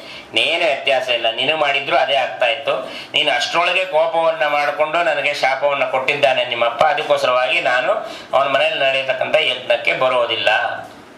ನೀವು ಬರದೆ ಹೊರಬೇಡ, ನಾ ಹೋಗ್ತೀನಿ ಅಂತ ಹೇಳಿದ್ಲು. ಹೋಗಿ ಏನಾಯ್ತು ಅನ್ನತಕ್ಕಂಥ ಎಲ್ರಿಗೂ ಗೊತ್ತಿರೋ ವಿಚಾರವೇ, ಕೊನೆಯಲ್ಲಿ ಅವಮಾನವಾಯಿತು, ಎಲ್ಲ ಆಗಿ ಮಹಾರುದ್ರ ದೇವರಿಗೆ ಎಲ್ಲವನ್ನು ತಡ್ಕೊಂಡ್ರೂ ಸಹ ಮಹಾರುದ್ರ ದೇವರಿಗೆ ಆಹುತಿಯನ್ನ ಕೊಡಲಿಲ್ಲ ಅಂತೇಳಿ ಅವಳಿಗೆ ಬಹಳ ಕೋಪ ಬಂತು. ನೀ ಏನು ಬೇಕಾದ್ರೂ ಬೈ ನನ್ನ ಗಂಡನ. ಶಾ ಕಲಿಯುಗದಲ್ಲಿ ಇರೋದೇ ಅದೇ ತಾನೇ ಧರ್ಮ. ಹೆಂಡತಿಯರು ತಮ್ಮ ಗಂಡನ ಎಷ್ಟು ಬೇಕಾದ್ರೂ ಬೈಬೋದು. ಆದರೆ ಬೇರೆಯವರು ಬಂದು ತಮ್ಮ ಗಂಡನ ಬೈದ್ರೆ ಅವರು ಗಂಡ ಹೆಂಡತಿ ಒಂದು ಹಾಕ್ತಾರೆ ಅವ್ರನ್ನ ಬೈದು ಕಳಿಸ್ತಾರೆ. ಹಾಗೆ ಮ- ಪಾರ್ವತಿ ದೇವಿನೂ ಅದೇ ಹೇಳಿದ್ಲು. ನೋಡು ನೀನು ಅಪ್ಪನ ಮನೆಗೆ ಹೋಗ್ತಾ ಇದೆಯಾ? ನೀ ಯಾಕೆ ಹೋಗ್ತಾ ಇದೆಯಾ ಅಂತ ನಿಮ್ಮ ಅಪ್ಪ ಕೂಡ ಉಡುಗೊರೆ ಆಸೆಗೋಸ್ಕರ ಹೋಗ್ತಾ ಇದೆಯಾ? ಅಷ್ಟು ಬಿಟ್ಟು ನೀನೇ ಇಲ್ಲ. ನಿಮ್ಮ ಅಪ್ಪ ನನ್ನನ್ನು ಬೈತಾನೆ. ನನ್ನನ್ನು ಬೈದರೆ ನಿನಗೆ ತಡ್ಕೊಳ್ಳಿಕ್ಕೆ ಆಗೋದಿಲ್ಲ. ದೇಹ ಅವಸಾನದಲ್ಲಿ ಅಂತ್ಯ ಆಗತ್ತೆ. ಅದು ಬೇಡ. ಹೋಗಬೇಡ. ಇಲ್ಲ ನಾವು ಹೋಗೇ ಹೋಗೋದು ಅಂತೇಳಿ ಹೋದ್ಲು. ಕೊನೆಯಲ್ಲಿ ಯಜ್ಞಕುಂಡದಲ್ಲಿ ದೇಹವನ್ನು ಬಿಟ್ಟಿದ್ದಾಳೆ. ಆಹುತಿಯನ್ನು ಕೊಟ್ಟಿದ್ದಾಳೆ. ಆಹುತಿಯನ್ನು ಕೊಟ್ಟ ನಂತರದಲ್ಲಿ ಮಹಾರುದ್ರ ದೇವರಿಗೆ ವಿಷಯ ಗೊತ್ತಾಯಿತು. ಬಂದು ದಕ್ಷ ಪ್ರಜಾಪತಿಯ ಶಿರಸ್ಸನ್ನು ಛೇದನವನ್ನು ಮಾಡಿದ್ರು. ಆಮೇಲೆ ಅಜನ ತಲೆಯನ್ನು ಇಟ್ಟು ಆ, ಹೋಮವನ್ನೆಲ್ಲ ಮುಗಿಸಿದ್ರು. ಮುಗಿಸೋ ಕಾಲದಲ್ಲಿ ಮಹಾ ಪರಮಾತ್ಮ ಬಂದಿದ್ದಾನೆ. ಬಂದು ಏನು ಹೇಳ್ದ? ನೀನು ಮಹಾರುದ್ರ ದೇವರನ್ನ ನಿಂದನೆಯನ್ನು ಮಾಡಿದ್ದು ತಪ್ಪು. ಮಹಾರುದ್ರ ದೇವರನ್ನ ನಿಂದನೆಯನ್ನು ಮಾಡಬಾರ್ದಾಗಿತ್ತು. ಯಾರು ಆಹುತಿ ಕೊಡಬಾರ್ದು ಅವನಿಗೆ ಅಂತ ಹೇಳಿ ಶಾಪವನ್ನು ಕೊಟ್ಟು ಇದನ್ನು ಕೊಡಬಾರ್ದಾಗಿತ್ತು. ಈಗ ನೀನೇ ಇದನ್ನ ಮುಂದುವರಿಸಿ, ಆ ಯಜ್ಞವನ್ನು ಮಹಾರುದ್ರ ದೇವರು ಮೊದಲು ಆಹುತಿಯನ್ನು ಕೊಟ್ಟು ನೀನೇ ಪ್ರಪಂಚದಲ್ಲಿ ಎಲ್ಲರೂ ಮಹಾರುದ್ರ ದೇವರಿಗೆ ಆಹುತಿಯನ್ನು ಕೊಡುವಂತೆ ಮಾಡು ಅಂತ ಹೇಳಿ ಹೇಳಿದ. ಇದನ್ನ ಬ್ರಹ್ಮದೇವ, ಪರಮಾತ್ಮ ಮುಂಚೆನೆ ಬಂದು ಹೇಳ್ಬೋದಾಗಿತ್ತಲ್ವಾ? ಮಹಾರುದ್ರ ದೇವರು ಬಂದು ಅಥವಾ ಪಾರ್ವತಿ ದೇವಿ ಬಂದು ಇಷ್ಟೆಲ್ಲ ಮಾಡೋದಕ್ಕೆ ಮುಂಚಿತವಾಗಿ ಯಾಕೆ ಹೇಳಲಿಲ್ಲ ಅಂತ ಹೇಳಿ ಕೇಳಿದಾಗ ವಾದಿರಾಜರು ತುಂಬ ಸುಲಲಿತವಾಗಿರ್ತಕ್ಕಂಥ ಉತ್ತರವನ್ನು ಕೊಡ್ತಾರೆ. ಮೊದಲೇ ಹೇಳ್ಬಿಟ್ಟಿದ್ದಿದ್ರೆ ಇಷ್ಟು ಅವಘಡಗಳೆಲ್ಲ ಏನಾಗ್ತಾ ಇದೆ, ಈ ಅವಘಡಗಳಿಂದ ಯಾರೂ ಪಾಠ ಕಲಿತಾ ಇರಲಿಲ್ಲ ಪರಮಾತ್ಮ ಬಂದು ಮೊದಲೇ ಹೇಳಿದ್ದಿದ್ರೆ ಹೇಳ್ತಿದ್ದ ಅವನಿಗೇನಿಲ್ಲ ಹೌದಲ್ಲ, ಈಗ ಬಲಿಚಕ್ರವರ್ತಿನ ರಾವಣ ಕುಂಭಕರ್ಣಾದಿಗಳನ್ನು ಸಂಹಾರ ಮಾಡಿರತಕ್ಕಂಥವನು ಹಿರಣ್ಯಕಶಿಪು ಹಿರಣ್ಯಾಕ್ಷವನ್ನ ಕನ್, ಸಂಹಾರ ಮಾಡತಕ್ಕಂಥ ಶಕ್ತಿ ಇದ್ದಂಥವನು ಬಲಿಚಕ್ರವರ್ತಿಯನ್ನ ಸಂಹಾರ ಮಾಡ್ಲಿಕ್ಕೆ ಆಗಲಿಲ್ವಾ? ಅವನ ಹತ್ರ ಯಾಕೆ ವಾಮನ ರೂಪದಿಂದ ಹೋಗಿ ದಾನವನ್ನ ಕೇಳ್ದ. ಪ್ರಹ್ಲಾದ್ರಾದ್ರಿಗೆ ಅನುಗ್ರಹವನ್ನು ಮಾಡಿಬಿಟ್ಟಿದ್ದ. ನಿನ್ನ ವಂಶದಲ್ಲಿ ಯಾರ ಮೇಲೂ ನಾನು ಕೈ ಎತ್ತೋದಿಲ್ಲ, ಯಾರನ್ನು ಸಂಹಾರ ಮಾಡೋದಿಲ್ಲ. ಬೇಕಾದ್ರೆ ಬೇಡ್ತೀನಿ ಹೊರತು ಯಾರ ಮೇಲೂ ಕೈ ಎತ್ತೋದಿಲ್ಲ ಅಂತ ಹೇಳ್ಬಿಟ್ಟಿದ್ದ. ಹಾಗಾಗಿ ವಾಮನ ರೂಪದಿಂದ ಹೋಗಿ ಬೇಡ್ದ, ಭಿಕ್ಷೆಯನ್ನ ಬೇಡ್ದ. ಅಲ್ಲಿ ಅದ್ರು ಹೇಳ್ತಾರೆ, ತ್ರಿಪದ ಅಂತ ಹೇಳಿ ಕೇಳಿದ್ದವನು. ಮೂರು ಪಾದವನ್ನ ಭೂಮಿಯನ್ನ ಕೇಳ್ದ ನಾವನ್ನು ಕೊಡ್ತಿದ್ದೀವಿ ಅವನು ಕೇಳಿದ್ದ ಅದಲ್ಲ ಅಂತ ಹೇಳ್ತಾರೆ ರಾಯರು. ಅವ್ರು ಕೇಳಿದ ತ್ರಿಪದ ಗಾಯತ್ರಿ. ಮೂರು ಪಾದದ ಗಾಯತ್ರಿ ಮಂತ್ರವನ್ನ ನೀನು ಚೆನ್ನಾಗಿ ಮಂತ್ರ ಜಪವನ್ನು ಮಾಡ್ಕೊಂಡು ನನಗೆ ಸಮರ್ಪಣೆ ಮಾಡೋದು ನಿನಗೆ ಬೇಕಾದ ನಾ ಕೊಡ್ತೀನಿ ಅಂತ ಹೇಳಿದ್ದು ಅಂತ ರಾಯರು ಹೇಳ್ತಾರೆ. ವಿಜಯಧ್ವಜ ತೀರ್ಥರು ಇನ್ನೂ ವಿಶೇಷವಾಗಿ ಹೇಳ್ತಾರೆ ಅವರು. ಅವರು ಕೇಶವಾದಿ ಇಪ್ಪತ್ನಾಲ್ಕು ರೂಪಗಳೇನಿದೆ ಆ ಇಪ್ಪತ್ನಾಲ್ಕು ರೂಪಗಳನ್ನು ಸಂತೃಪ್ತಿಯನ್ನು ಪಡಿಸಬೇಕು ಅಂತಂದ್ರೆ ಬಲಿಚಕ್ರವರ್ತಿಯನ್ನ ಉದ್ಧಾರವನ್ನು ಮಾಡಿರ್ತಕ್ಕಂಥ ತ್ರಿವಿಕ್ರಮ ದೇವರ ಸ್ಮರಣೆಯನ್ನು ಮಾಡ್ಬಿಡು, ಇಪ್ಪತ್ನಾಲ್ಕು ನಾಮಗಳ ಸ್ಮರಣೆ ಮಾಡಿ ಪುಣ್ಯವನ್ನು ಕೊಡ್ತೀನಿ ಅಂತ ವಿಜಯಧ್ವಜ ತೀರ್ಥ ಹೇಳ್ತಾರೆ. ಯಾಕೆಂದ್ರೆ ಒಬ್ಬೊಬ್ಬರಿಗೂ ಒಂದು ಜ್ಞಾನಿಗಳಿಗೆ ಆ ರೀತಿ ಗೋಚರ ಆಗತ್ತೆ. ನಾವೆಲ್ಲ ಅನ್ಕೊಂಡ್ರೆ ನಮ್ಗೆ ಏನು ಗೋಚರವೇ ಆಗೋದಿಲ್ಲ. ಇದ್ದಿದ್ದು ಮರ್ತೋಗತ್ತೆ. ಅನ್ಕೊಂಡು ಏನು ಅನ್ಕೋತಾ ಇದ್ವಿ ಏನು ಅನ್ಕೋತಾ ಇದ್ವಿ ಅಂತ. ಆ ರೀತಿಯಲ್ಲಿ ಆಗತ್ತೆ. ಹಾಗೆ ಮಾಡ್ಕೊಳ್ಬಾರ್ದು ಅಂತಂದ್ರೆ ಹಿರಿಯರು ಏನೇನು ಹೇಳಿದ್ದಾರೆ ಅದನ್ನು ಕೇಳ್ಕೊಂಡು ಹೋಗ್ಬೇಕು ಅಷ್ಟೇ ನಾವು. ನಮ್ದು ಸ್ವಂತವಾಗಿ ತಲೆಹರಟೆಯನ್ನು ಮಾಡ್ಲಿಕ್ಕೆ ಹೋದ್ರೆ ತಲೆಲಿದ್ದಿದ್ದೇ ಮರ್ತೋಗುತ್ತೆ. ಬರೀ ಹರಟೆ ಉಳಿಯತ್ತೆ ಅಷ್ಟೇ. ಆ ರೀತಿಯಲ್ಲಿ ಮಾಡ್ಕೊಳ್ದಿರ ಪರಮಾತ್ಮ ಏನು ಹೇಳಿದ್ದಾನೆ ಅನ್ನತಕ್ಕಂಥ ಸಂಪೂರ್ಣವಾಗಿ ಜ್ಞಾನದಲ್ಲಿ ಇಟ್ಟುಕೊಂಡು ಮಹಾರುದ್ರ ದೇವರು ಅಲ್ಲಿ ಅಕಸ್ಮಾತ್ ವಿಷ್ಣು ಮೊದಲೇ ಬಂದು ಹೇಳಿದ್ದಿದ್ದರೆ ಹೆಣ್ಣು ಮಕ್ಕಳಿಗೆ ಯಾರಿಗೂ ಏನು ಮಾಡಬೇಕು ಅನ್ನೋದು ಗೊತ್ತಾಗ್ತಾ ಇರಲಿಲ್ಲ. ಅಲ್ಲಿ ಹೇಳ್ತಾರೆ, ಹೆಣ್ಣು ಮಕ್ಕಳು, ಏನಾದರೂ ಗಂಡನಿಗೆ ಬರಬೇಕಾದಿದ್ರೆ ಬಿಡಬೇಡ್ರಿ ತವ್ರ ಮನೆಯಿಂದ ಕಿತ್ಕೊಂಡ್ಬಂದ್ರಿ ಅನ್ನೋದನ್ನ ಹೇಳ್ಕೊಡ್ತಾ ಇದ್ದಾಳೆ ಪಾರ್ವತಿ ದೇವಿ. ಗಂಡನಿಗೆ ಬರಬೇಕಾಗಿರ್ತಕ್ಕಂಥ ಪಾಲು ಏನಾದ್ರು ಇದ್ರೆ ನಿಮ್ಮ ತವ್ರ ಮನೆಯಲ್ಲಿ ಹೋಗಿ ಅಳಿಯನಿಗೆ ಮಾಡಬೇಕಾಗಿರ್ತಕ್ಕಂಥ ಸೇವೆಗಳು, ಅದು ಏನೇನಿದೆ ಅದನ್ನು ಸರಿಯಾಗಿ ಮಾಡಲಿಲ್ಲ ಅಂತಂದ್ರೆ ಬಿಡಬೇಡ್ರಿ. ಯಾಕೆ ನೀವು ಬಿಟ್ರಿ ಅಂತ ನಾನು ಬಿಟ್ಟೆ ದೇಹನೇ ಬಿಟ್ಬಿಡೆ, ನಮ್ಮ ಅಪ್ಪ ಮಾಡಲಿಲ್ಲ ಅಂತೇಳಿ ಬಿಟ್ಟಿದ್ದಕ್ಕೆ ಏನಾಯ್ತು? ದೇಹ ಹೋಯ್ತು, ನಿಮಗೂ ಹಂಗೆ ಆಗೋಗ್ಬಿಟ್ಟಾಯ್ತು ಅಂದ್ರೆ ಏನು ಜ್ಞಾನ ಹೊಟ್ಟೋಗ್ಬಿಡತ್ತೆ ಅಂತ. ಜ್ಞಾನ ಹೋದ್ರೆ ಏನಾಯ್ತು? ಪರಮಾತ್ಮನ ಜ್ಞಾನ ಹೊಟ್ಟೋಗತ್ತೆ ಹಾಗಾಗಿ ಆಮೇಲೆ ಬಂದು ಪರಮಾತ್ಮ ಆಹುತಿ ಕೊಟ್ಟ ನಾನು ಗಿರಿಜೆ ಆಗ್ಬಿಟ್ಟಿದೆ. ಆದ್ರೆ ನಿಮಗ್ ಸಾಧ್ಯ ಇಲ್ವೇ? ಆ ರೀತಿಯಲ್ಲಿ ಹುಟ್ಟಲಿಕ್ಕೆ ಕಲಿಯುಗದಲ್ಲಿ. ಅಂದ್ರೆ ಮಾವನ ಮನೆ ಅಂದ್ರೆ ಯಾವುದು ಅಂತಂದ್ರೆ ಇಲ್ಲಿ ಪರಮಾತ್ಮನ ಮಂದಿರ. ಪರಮಾತ್ಮನೇ ನಮಗೆಲ್ಲರಿಗೂ ಮಾವ. ಆಗಿ ಎಷ್ಟೋ ಜನ ಹೇಳ್ತಾರೆ, ದೇವರೇ, ನಿನ್ನಂತ ಅಳಿಯನ್ ಕೊಟ್ಬಿಡಪ್ಪ. ದೇವರಂತ ಅಳಿಯ ಸಿಕ್ಕಿದ್ದಾನೆ ಅಂತ ಹೇಳ್ತೀವಿ. ಹೌದಲ್ಲ? ದೇವರಂತ ಅಳಿಯ ಸಿಕ್ಕಿದ್ದಾನೆ. ಅವನು ಅಳಿಯನ್ ಕೇಳಿದ್ರೆ ದೇವರಂತ ಮಾವ ಸಿಕ್ಕಿದ್ದಾನೆ ಅಂತ ಹೇಳಬೇಕು. ಆ ರೀತಿಯಲ್ಲಿ ನಾವಿರಬೇಕು. ನಾವೇನ್ ಮಾಡ್ತೀವಿ? ಕಂಸ ಆಗೋಗ್ಬಿಟ್ರೆ ಏನ್ ಮಾಡೋದು? ಒಬ್ಬ ಕಂಸ, ಒಬ್ಬ ಕೃಷ್ಣ ಆದರೆ ಬಹಳ ಕಷ್ಟ ಆಗತ್ತೆ. ಅದಕ್ಕೋಸ್ಕರವಾಗಿ ಹೆಣ್ಣು ಮಕ್ಕಳು ಏನು ಹೇಳಿ, ಇಲ್ಲಿ ವಿಶೇಷವಾಗಿ ಹೇಳಿದ್ದಾಳೆ ಅಂತಂದ್ರೆ, ತವರ ಮನೆಯಲ್ಲಿ ಕರೆಯದೇ ಇದ್ರೆ ಯಾವುದಕ್ಕೂ ಹೋಗ್ಬೇಡ್ರಿ ಅನ್ನೋದು ಒಂದು ಮೊದಲನೇದು.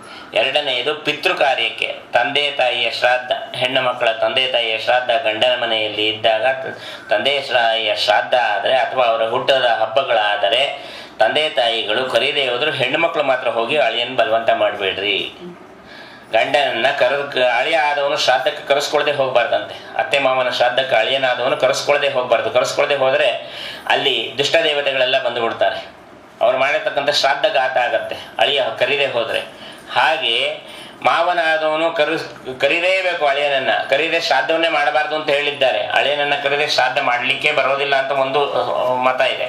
ಹಾಗಾಗಿ ಈ ರೀತಿಯಲ್ಲಿರೋದ್ರಿಂದ ನಾವು ತವರ ಮನೆಗಾಗಲಿ ಗಂಡನ ಮನೆಯಲ್ಲಾಗಲಿ ಎರಡೂ ಮನೆಯನ್ನ ಕೀರ್ತಿಯನ್ನು ತರತಕ್ಕಂಥದ್ದು ಹೆಣ್ಣು ಮಕ್ಕಳ ಜವಾಬ್ದಾರಿ ಅನ್ನತಕ್ಕಂಥ ಪಾರ್ವತಿ ದೇವಿ ವಿಶೇಷವಾಗಿ ತೋರಿಸ್ಕೊಡ್ತಾ ಇದ್ದಾಳೆ.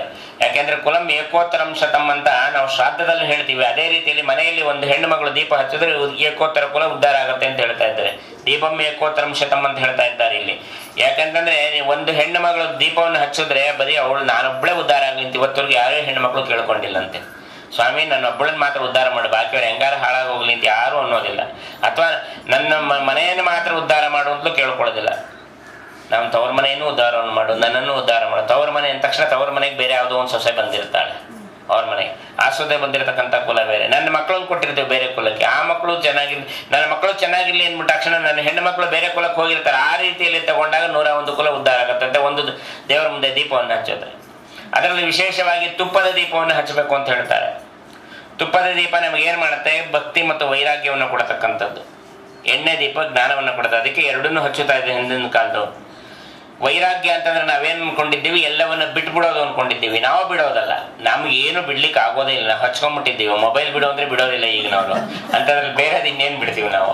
ಹೌದಲ್ಲ. ಪರಮಾತ್ಮನ್ ಬೇಕಾದ್ರೂ ಬಿಡ್ತಾರೆ. ಸಾಲಿಗ್ರಾಮ ಬಿಡ್ತಾರೆ. ಸಾಲಿಗ್ರಾಮ ತಗೊಂಡೋಗಿ ಮಠಕ್ಕೆ ಕೊಟ್ವಿ ಯಾರಿಗೋ ಕೊಟ್ಬಿಟ್ವಿ ಅಂತ ಹೇಳಿ ಮನೇಲಿದ್ರೆ ಏನೋ ಆಶ್ರಯಸು ಅನ್ಕೊಂಡ್ಬಿಟ್ಟಿದ್ದಾರೆ ಸಾಲಿಗ್ರಾಮ ಇದ್ದಿದ್ದರಿಂದ ನಮ್ಮನೆ ಇಷ್ಟು ದಿವಸ ಚೆನ್ನಾಗಿತ್ತು ಅಂತ ಅರ್ಥ ಮಾಡ್ಕೊಳ್ಬೇಕು.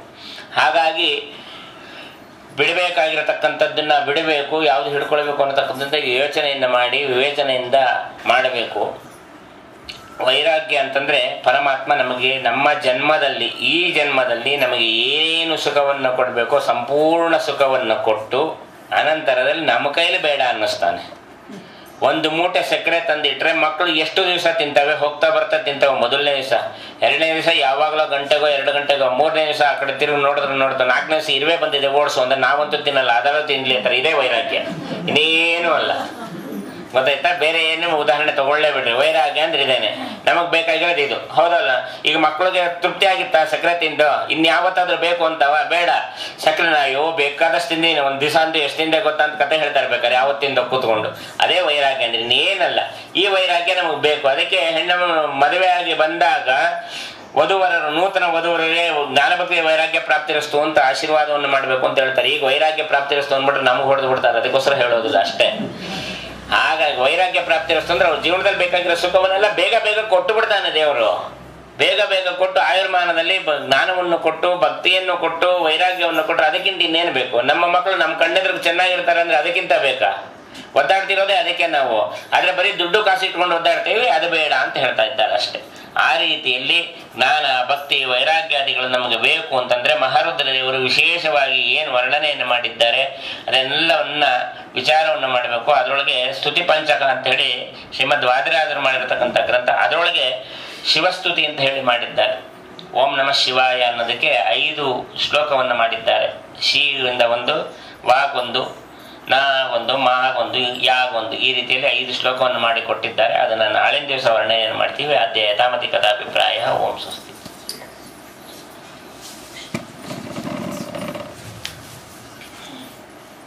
ಹೌದಾ